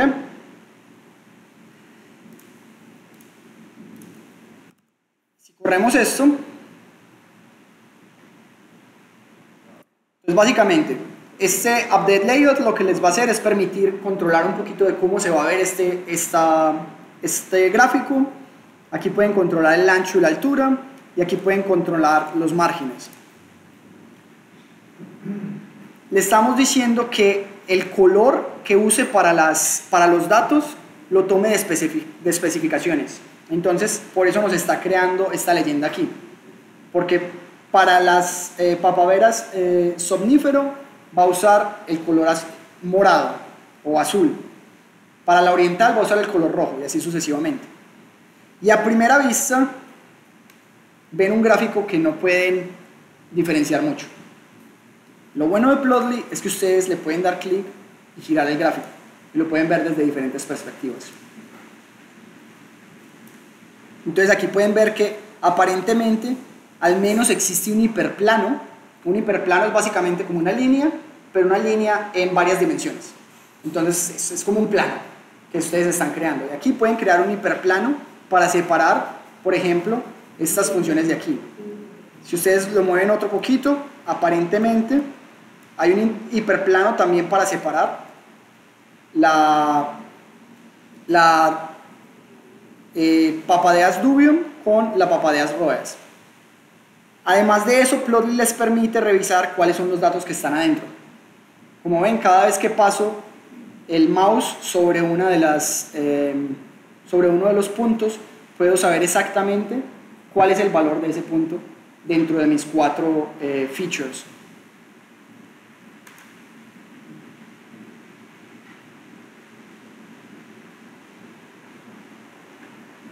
¿Hasta aquí todo bien? Bien. ¿Cómo vamos? ¿Está interesante? ¿Sí? Ok. Ahora vamos a la parte fuerte, que es la parte de aprendizaje automático. Vamos a estar usando Skylearn o Scikit-learn. Hay diferentes tipos de librerías. Eh, la que a nosotros nos gusta usar es sklearn. Por lo general, es bueno saber dónde se encuentran eh, las funciones que van a estar usando para no cargar toda la librería y por lo general es difícil buscar dentro de la librería. Entonces es, son cuestiones que van a estar aprendiendo en el momento de que empiecen a usarlos varias veces. Y cuando no sepan, simple y llanamente, el amigo Google y van a encontrar dónde está esa librería. Lo que vamos a incluir aquí es la función trainTest, test split, que es básicamente una función que nos va a permitir separar el data frame que tenemos de manera aleatoria para crear un conjunto de entrenamiento y un conjunto de test, un conjunto de pruebas. ¿Ok? ¿Por qué? Porque siempre que usamos cualquier tipo de aprendizaje automático, nosotros vamos a entrenar. Tenemos que entrenar y tenemos que mirar qué tan bien este entrenamiento está funcionando. Lo que pasa es que si nosotros entrenamos mucho, vamos a hacer que el algoritmo aprenda a como adaptarse a ese tipo de datos que tenemos. Eso es muy peligroso, porque la idea de aprendizaje automático es que su algoritmo sea bueno para detectar casos nuevos, no solamente con el dato que lo están entrenando. Entonces, por ejemplo, si nosotros usáramos todos nuestros 150 datos para entrenar nuestro algoritmo, nuestro algoritmo sería capaz de separar perfectamente esos 150, posiblemente. Pero ¿qué pasa si llega un nuevo tipo de planta o un nuevo ejemplo de esas plantas y ustedes lo ponen y no va a funcionar. Y luego otro y no va a funcionar. Ustedes, pero ¿qué está pasando? O sea, yo lo entrené y estaba funcionando perfectamente. El problema es que ocurre algo que se llama overfitting, que es básicamente están, están haciendo que los márgenes de decisión, están haciendo que su algoritmo se adapte a esos ejemplos que ustedes tienen. Entonces, por ejemplo, si viene un ejemplo nuevo, que de hecho está por, e- por ejemplo, este punto de aquí. Este punto de aquí de oriental se ve bastante lejos de la distribución normal de oriental. Entonces lo que harían ustedes con su algoritmo sería decir, ok, oriental es más o menos todo esto de por acá. Pero ustedes ahorita solamente tienen un dato de entrenamiento, ustedes no tienen todas las plantas que existen en el mundo. Entonces, ¿qué pasa si después, cuando llegue un nuevo dato, tienen una oriental que de hecho estaba por aquí, un poquito más lejos? Un poquitico. No la va a detectar. Y la siguiente no la va a detectar. Y la siguiente no la va a detectar. Porque él aprendió que este es el margen de decisión. Y a veces van a aprender los algoritmos márgenes de decisión muy locos. Por ejemplo, algo así. Déjenme dibujarlo. Por ejemplo, un margen de decisión podría llegar a aprender algo así.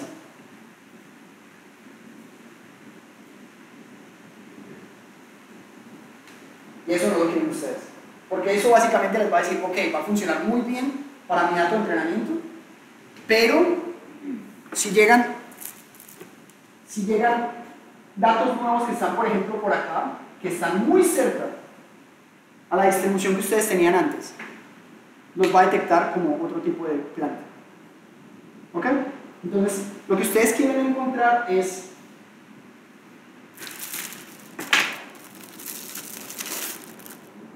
márgenes de decisión más relajados. Por ejemplo, ustedes podrían encontrar un margen de decisión que solamente sea así. Un ejemplo, no necesariamente va a ser esto.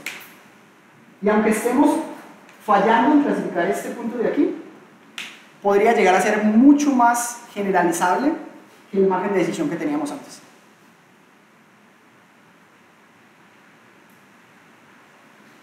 Entonces, cuando estén entrenando y cuando estén verificando, no se concentren tanto en cuál es el... o no solamente no se concentren tanto, no, se confíen con qué tan bueno o qué tan perfecto es su algoritmo. Porque eso no, no significa que sea perfecto en la generalización. Es muy importante tener eso en cuenta. Ese es el motivo por el que queremos dividir de manera aleatoria nuestra base de datos. Entonces, por ejemplo, vamos a elegir puntos de manera aleatoria desde aquí. Vamos a decir, por ejemplo, un 60% para entrenar. Y luego vamos a elegir puntos. Achso. Ya. Y luego vamos a elegir puntos, y estos van a ser, por ejemplo, los puntos de entrenamiento. Y el resto de puntos los vamos a usar para probar nuestro algoritmo. Entonces entrenamos con esto, él crea, por ejemplo, este tipo de margen de decisión y empezamos a revisar, ok, con nuestro algoritmo de entrenamiento tenemos que todo lo que dijimos que, que iba a ser, eh, creo que es rodea, todo lo que dijimos que iba a ser rodea, está funcionando. Pero cuando empiezo a mirar nuestro algoritmo de testeo, nuestro algoritmo de, de- de verificación, nuestro, perdón, nuestra lista de ejemplos de verificación, nos damos cuenta que tenemos un error. Eso no, se- no necesariamente significa que el algoritmo esté mal. ¿Hasta aquí todo bien?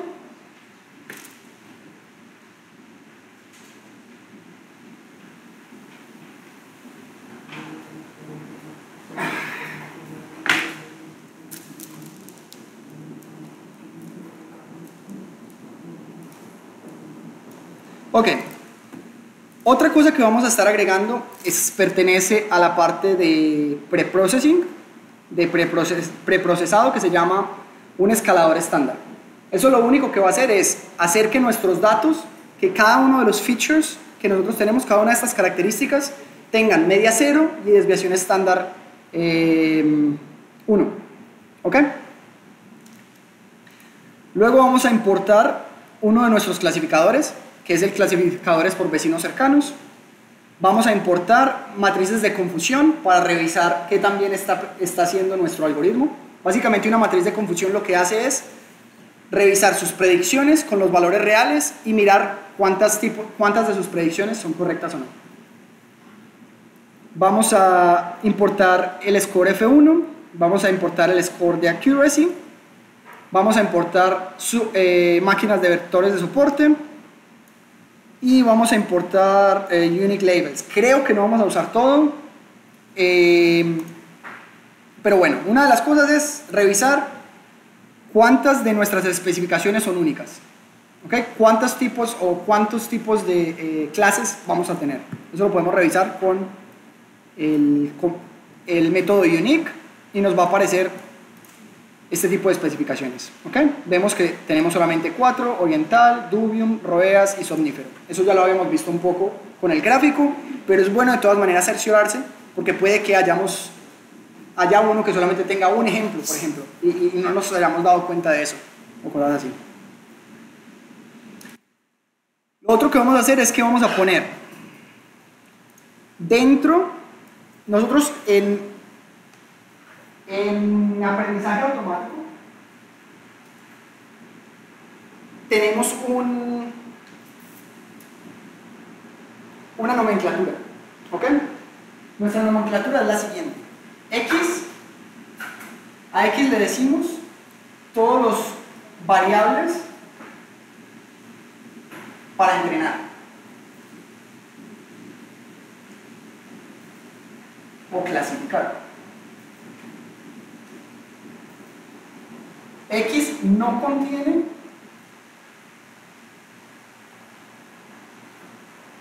algo que nosotros llamamos labels, que es básicamente la variable que ustedes quieren clasificar. ¿Ok?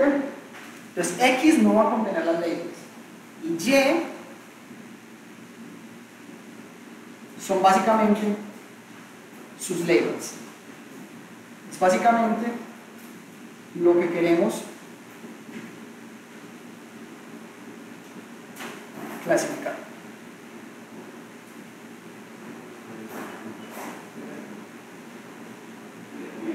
¿Hasta aquí todo bien? Bueno, ahora vamos a hablar de qué es lo que está haciendo nuestro algoritmo. Cualquier tipo de algoritmo que nosotros vayamos a usar, lo que está haciendo es predecir. Y con gorrito es predicción. ¿Ok? Nuestra predicción va a ser un mapeo de una función de las entradas. ¿Ok? Básicamente, ¿qué es lo que estamos diciendo? Le vamos a poner al algoritmo todas esas variables de entrada. Vamos a encontrar alguna manera en que esas variables se relacionan y con eso vamos a hacer una predicción. Supongamos, estamos haciendo, entrenando nuestro algoritmo y terminamos con que nuestra función de mapeo use algo parecido a esto. x cúbica más 2x más 1. Por decir un ejemplo. ¿Sí? Aquí estamos trabajando con una, con una sola variable. Pero en nuestro caso sería, por ejemplo, x2, 2x1, y por aquí podríamos tener x... ah,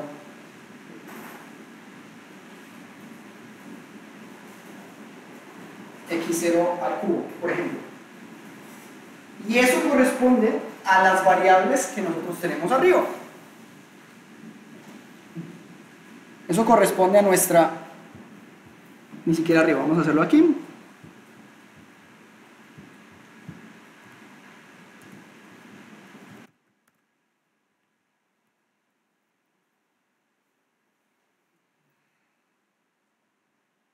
Básicamente, estos números corresponde a una de las features, a una de las características, y esos juntos, en una matriz, van a crear nuestra X.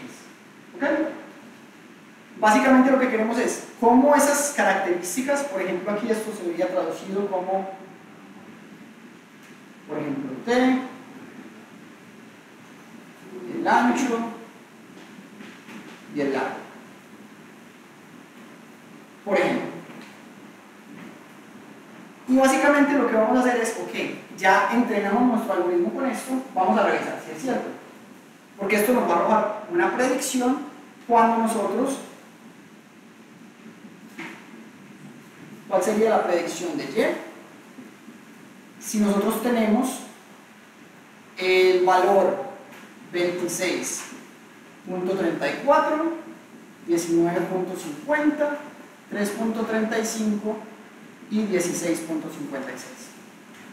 Entonces lo que ustedes van a hacer una vez, o lo que el algoritmo va a hacer, una vez que aprendió el mapeo, es poner estos datos dentro de esta función de mapeo y a partir de eso va a decir, ok, la función que yo tengo pertenece a P o pertenece, eh, per- pertenece a somnífero o pertenece a oriental, por así decirlo. ¿Ok? Entonces esto les va a decir, por ejemplo, pertenece a oriental.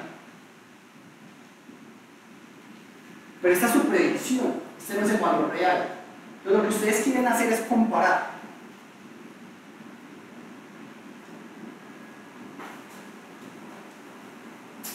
¿Cuánto se parecen sus predicciones a los valores reales? Y eso es lo que va a determinar que también esté haciendo problema. ¿Hasta aquí todo bien? ¿Puedo?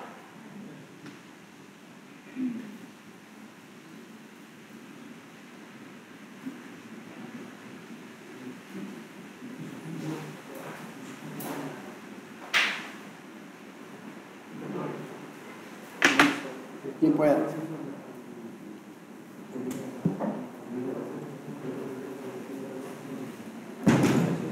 Entonces, lo que estamos haciendo aquí es simple y sencillamente decirle al algoritmo, ok, vamos a separar x de y.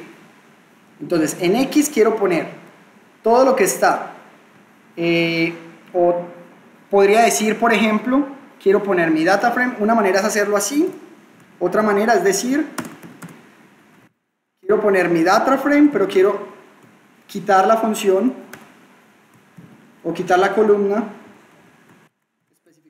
especificaciones. Eso les va a dar el mismo resultado. Eh,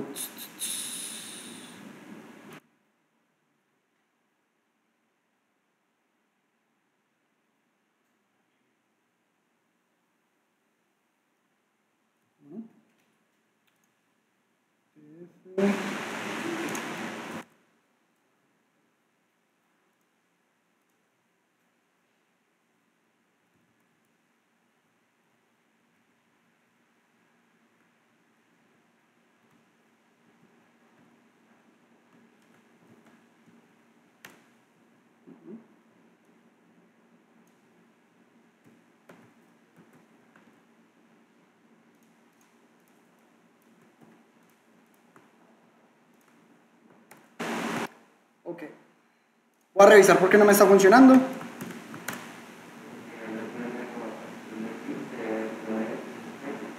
¿Perdón? ¿Qué me hace falta?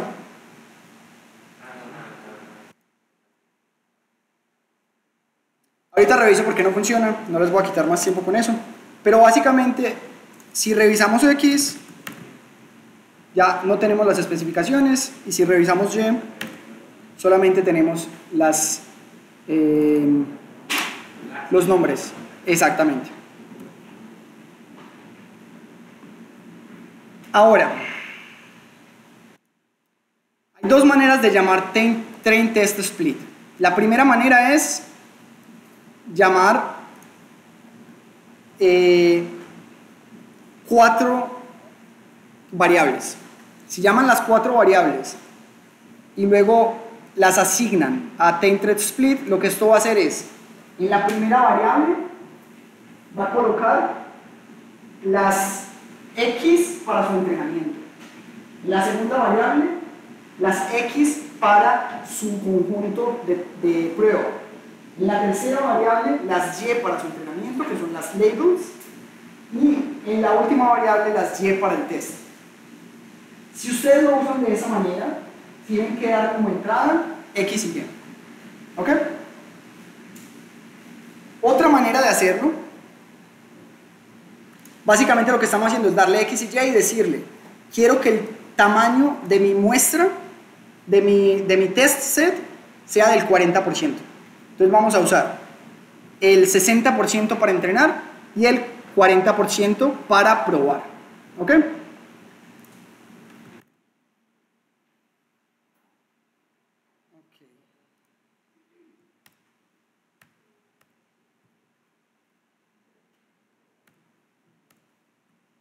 Ahora sí, me hacía faltar la primera línea.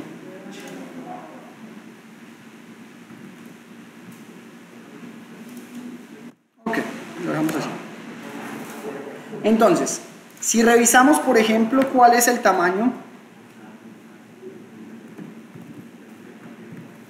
de su entrenamiento, tienen solamente 90 ejemplos con los que van a entrenar en lugar de 150. ¿Qué pasa si revisan el, tamaño de, perdón, de su test? Van a estar trabajando con 60 ejemplos para probar.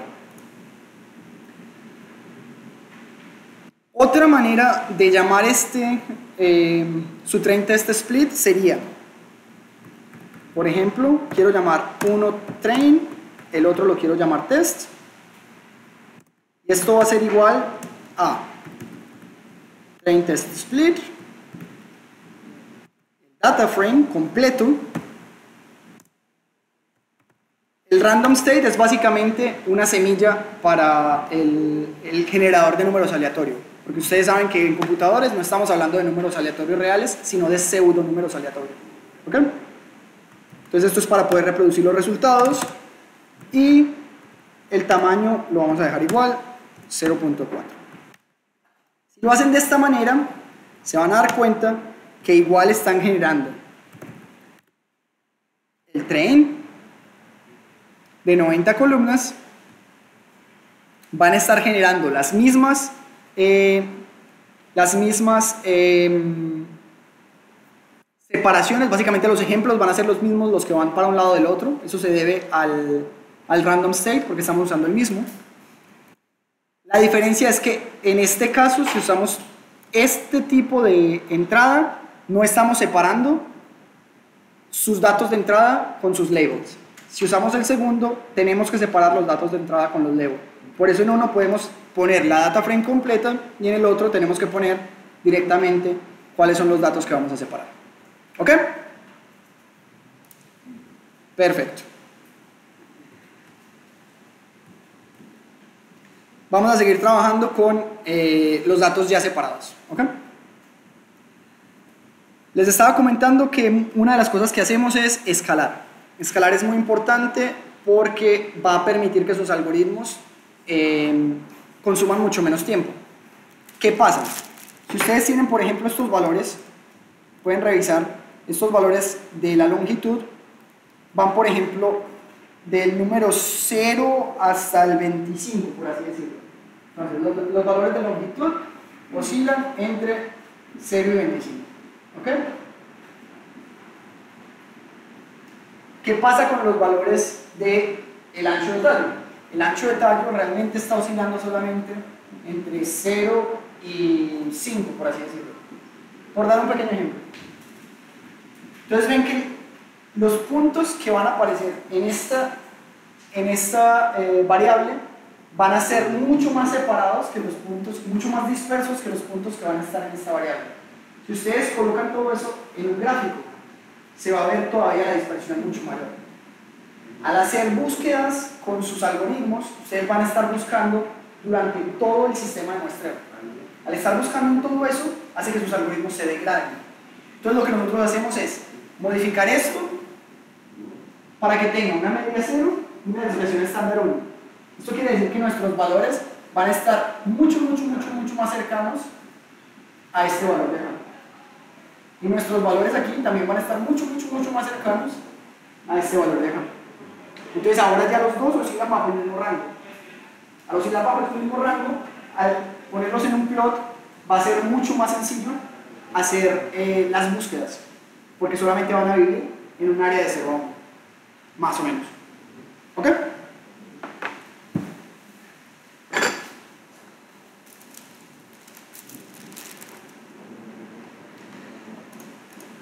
¿Cómo llamamos el escalador estándar? En la librería de Scikit-Learn, todo tiene un mecanismo de funcionamiento muy parecido. Se llama el constructor, después se llama la función feed and transform, y eso lo que va a hacer inmediatamente es, la función feed lo que va a hacer es crear el constructor y asignar todos los parámetros al constructor. La función transform hace el entrenamiento. ¿Ok? Entonces lo que están haciendo en cualquier tipo de, de objeto de scikit-learn es feed, lo crean, transform, entrenan. Entonces aquí ya están entrenando su X con feed and transform. Ustedes podrían llamarlas independientemente. Podrían decir, esto es lo mismo que decir SCX eh, punto fit y luego SCX punto transform. Obviamente las dos entregadas a la misma variable. O sea, si, si ustedes asignan a esto, vamos a ponerle extrain 2. Y obviamente esto también va a ser extrain 2 para que funcione.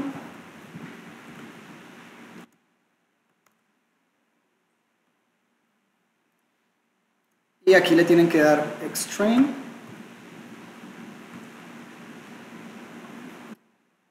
Para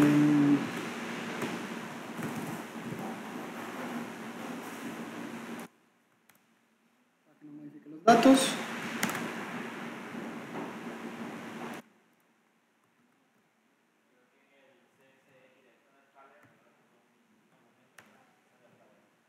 ¿Dónde es? Perdón.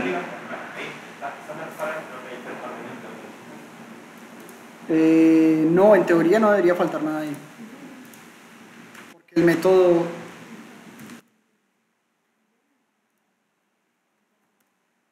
Aquí está bien. Lo que no me está sacando es esto. Ah, ok. Mayúsculas.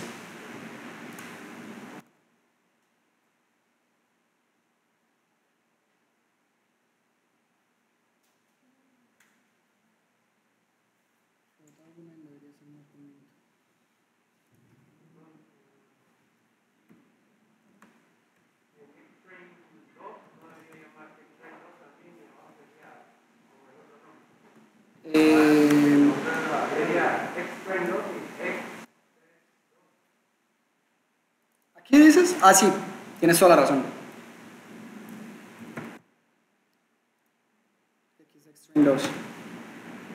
Eh, no, eso sería el transform. Eh, básicamente...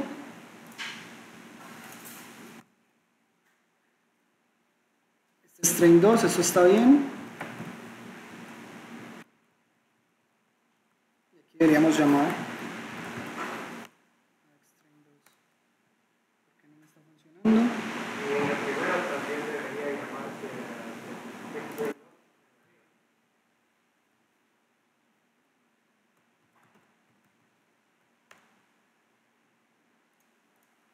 revisar si es cierto.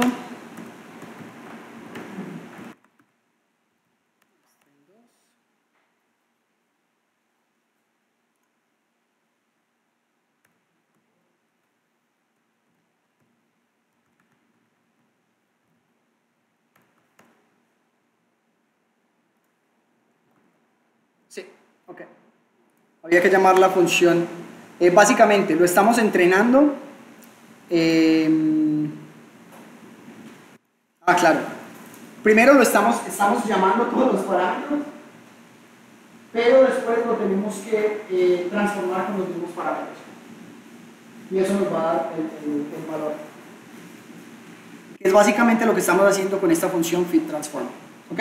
Entonces, todo eso lo están, lo están poniendo dentro de una sola función y les va a dar el mismo valor. Em, esto no lo necesitamos. Y ahora lo que vamos a hacer es llamar el clasificador. Entonces, lo que vamos a hacer es iniciar el clasificador. Estamos llamando el clasificador. Aquí lo construimos. Déjenme borrar esto de aquí.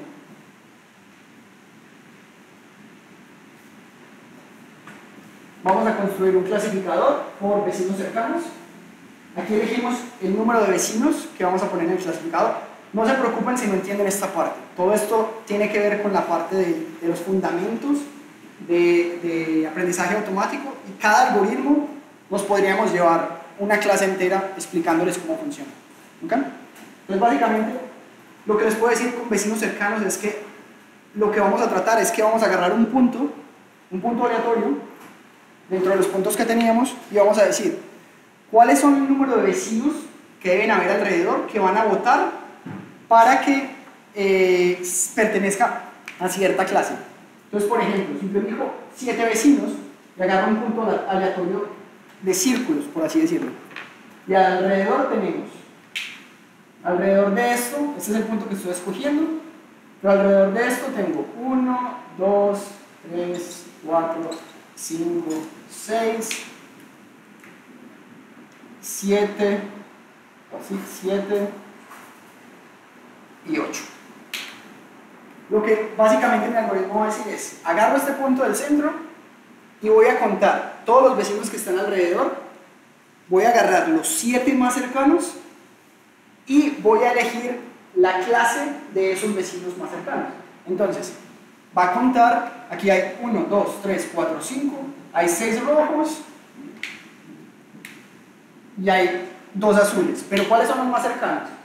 Los 6 rojos y uno azul. Entonces, ¿cuál va a ser la clase de este punto aquí? Este punto va a ser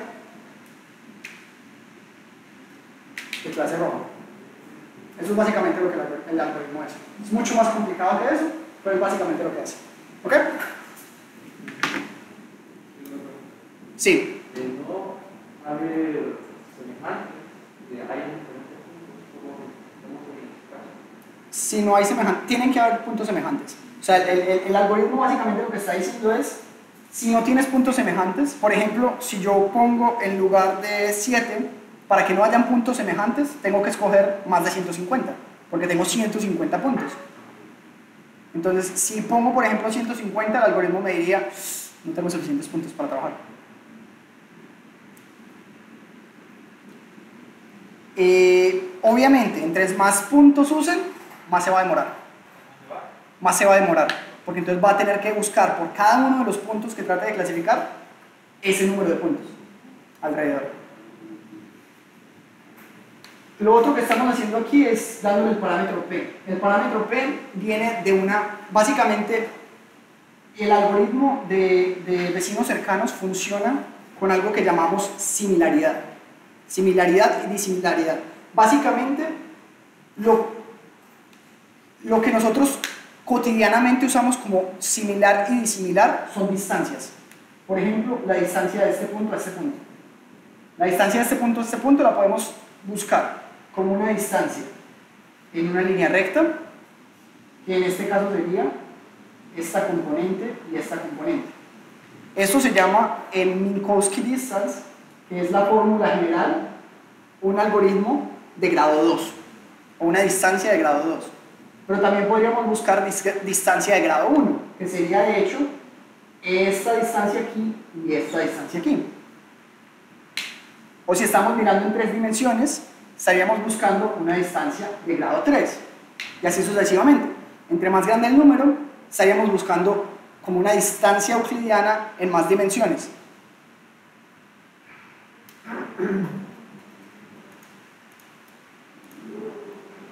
Y estos son los parámetros de entrenamiento. Entonces le estamos diciendo, ok, quiero buscar con 7 y buscando una distancia de grado 2. Eso lo podemos cambiar. Sí.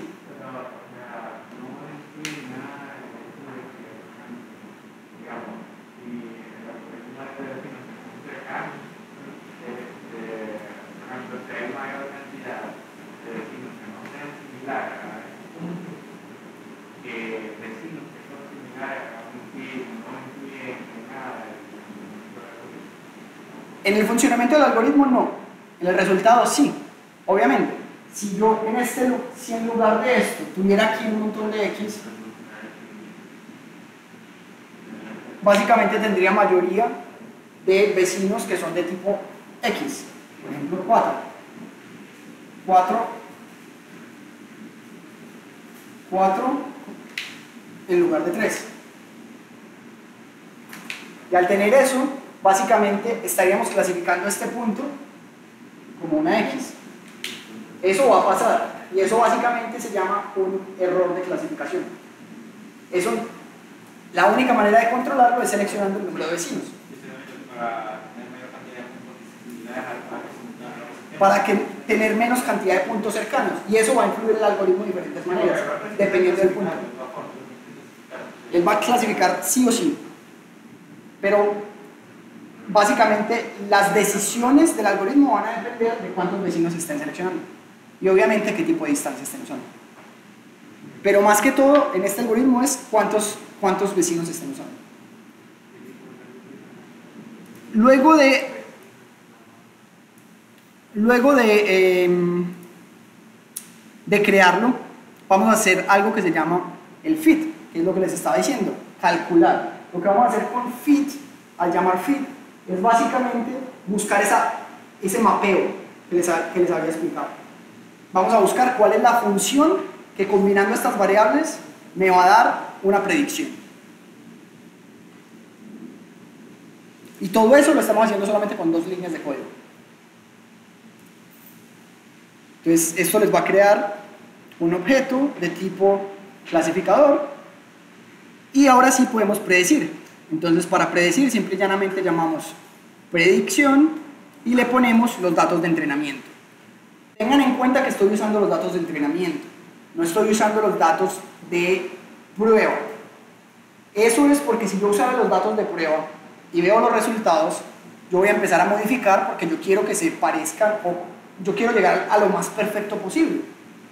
Pero si lo empiezo a modificar con los datos de prueba, lo que voy a hacer es generar lo que les había mostrado, de que voy a tratar de, de, de, hacer que la función se parezca a mis puntos. Y eso no es bueno. ¿Ok? Entonces, estamos trabajando con los datos de entrenamiento, hacemos la predicción y ¡pum! Tenemos una lista con todas las predicciones de los datos de entrenamiento. O sea, tenemos 90 predicciones ahí. ¿Ok? ¿Cómo hago para revisar qué tan buenas son ellas? Para eso vamos a usar lo que se llama matriz de confusión. La matriz de confusión lo que hace es, revisa cuál es mi predicción, qué es lo que debería ser.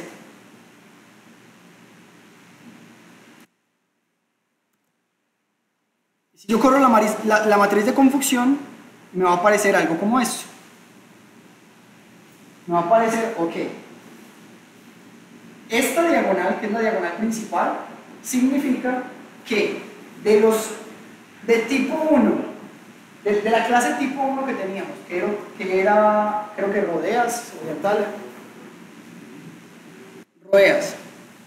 Entonces, aquí nos dice que rodeas los, eh, los, ah, las amapolas que eran de rodeo también son, fueron como predecidas por rodeo.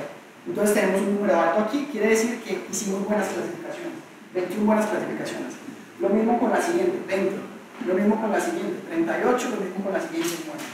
Eso quiere decir que ustedes al sumar esta diagonal principal obtienen ya qué tan bueno está haciendo su algoritmo. Lo bueno de la, de la matriz de confusión es que además les va a decir qué tipo de errores está haciendo su algoritmo. Por ejemplo, algo que debería ser de clase 3 lo predijimos como clase 1 y algo que debería ser de clase 4 lo predijimos como clase 1. Entonces estamos viendo que uno de los errores que estamos teniendo tiene que ver con la clase 1. ¿Ok? ¿Hasta aquí todo bien? Obviamente podemos decirle a Python relativamente fácil, ok, ¿cuáles son esas clases que yo estoy clasificando mal?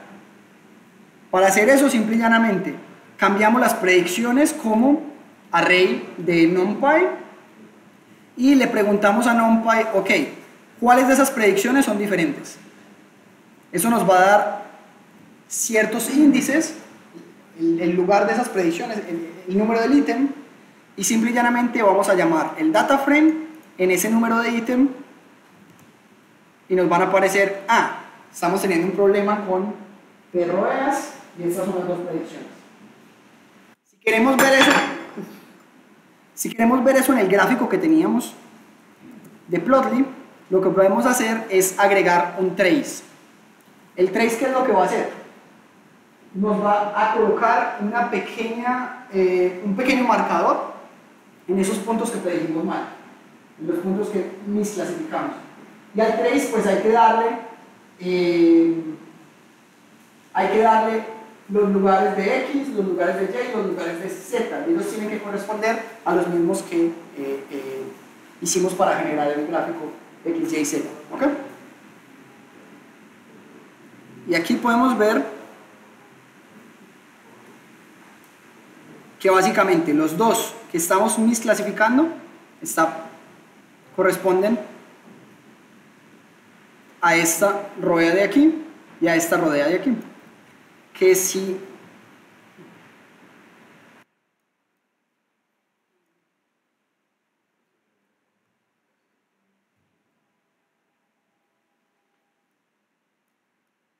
como pueden ver, es interesante porque son puntos que no están tan, tan alejados de la distribución. Si lo ven desde arriba, este punto está alejado por cierto, por cierto lugar y este punto está alejado de la distribución solamente en la parte de Z. Entonces, quiere decir que seguramente está tratando de elegir algunos de estos puntos como vecinos cercanos y algunos de estos puntos como vecinos cercanos. Es una manera de interpretarlo. La matriz de confusión obviamente la podemos hacer también bonita si la queremos poner en un, en un, en un paper, si la queremos poner en el trabajo escrito, no vamos a poner nada más esa lista, sino que vamos a hacer un diagrama de, calor.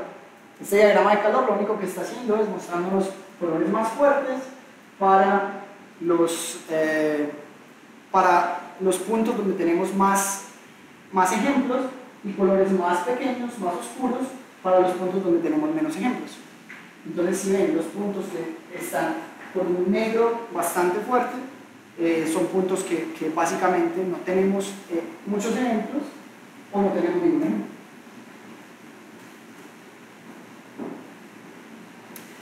Les estaba diciendo que eso lo hacemos con el entrenamiento y eso lo hacemos para que no tengamos problemas con eh, que estemos haciendo un overfitting. ¿Ok?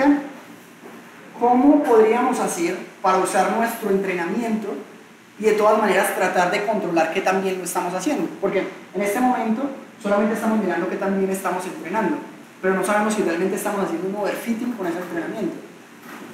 Una de, esas, una de las soluciones es algo que se llama el score de cross validation, de validación cruzada.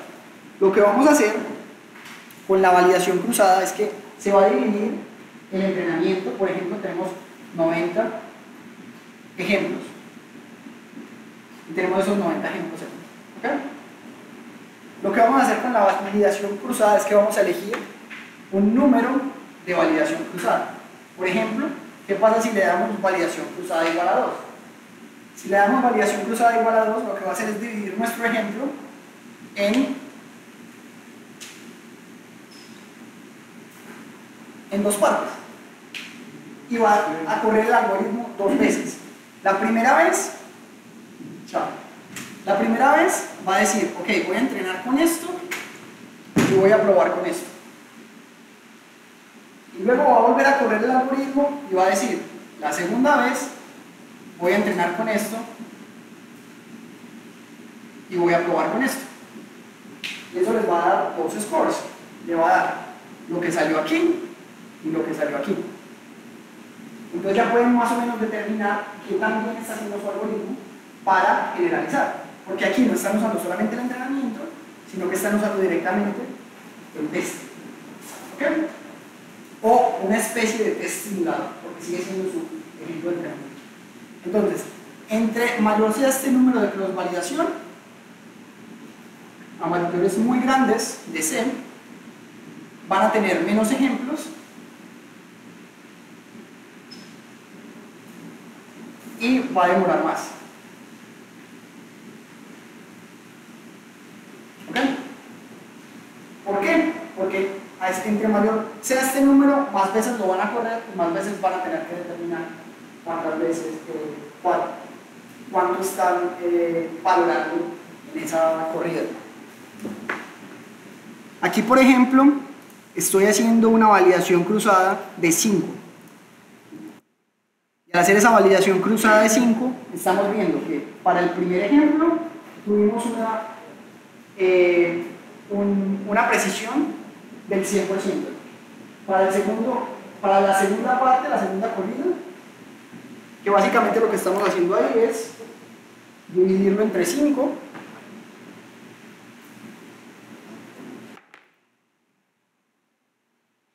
dividirlo entre 5 y la primera vez aquí va a ser el entrenamiento, entrenamiento, entrenamiento, entrenamiento y aquí va a estar el texto y luego lo corremos otra vez y lo mismo pa, pa, pa, simple y llanamente movemos el texto aquí y aquí va a ser entrenamiento, entrenamiento, entrenamiento, entrenamiento. Eso nos permite hacer más uso de las cantidades que tenemos. Y así lo van a seguir haciendo cinco veces. Entonces, la primera corrida nos dio 100%, la segunda 89%, la tercera 100%, la cuarta 89% y la quinta 94%. ¿Ok?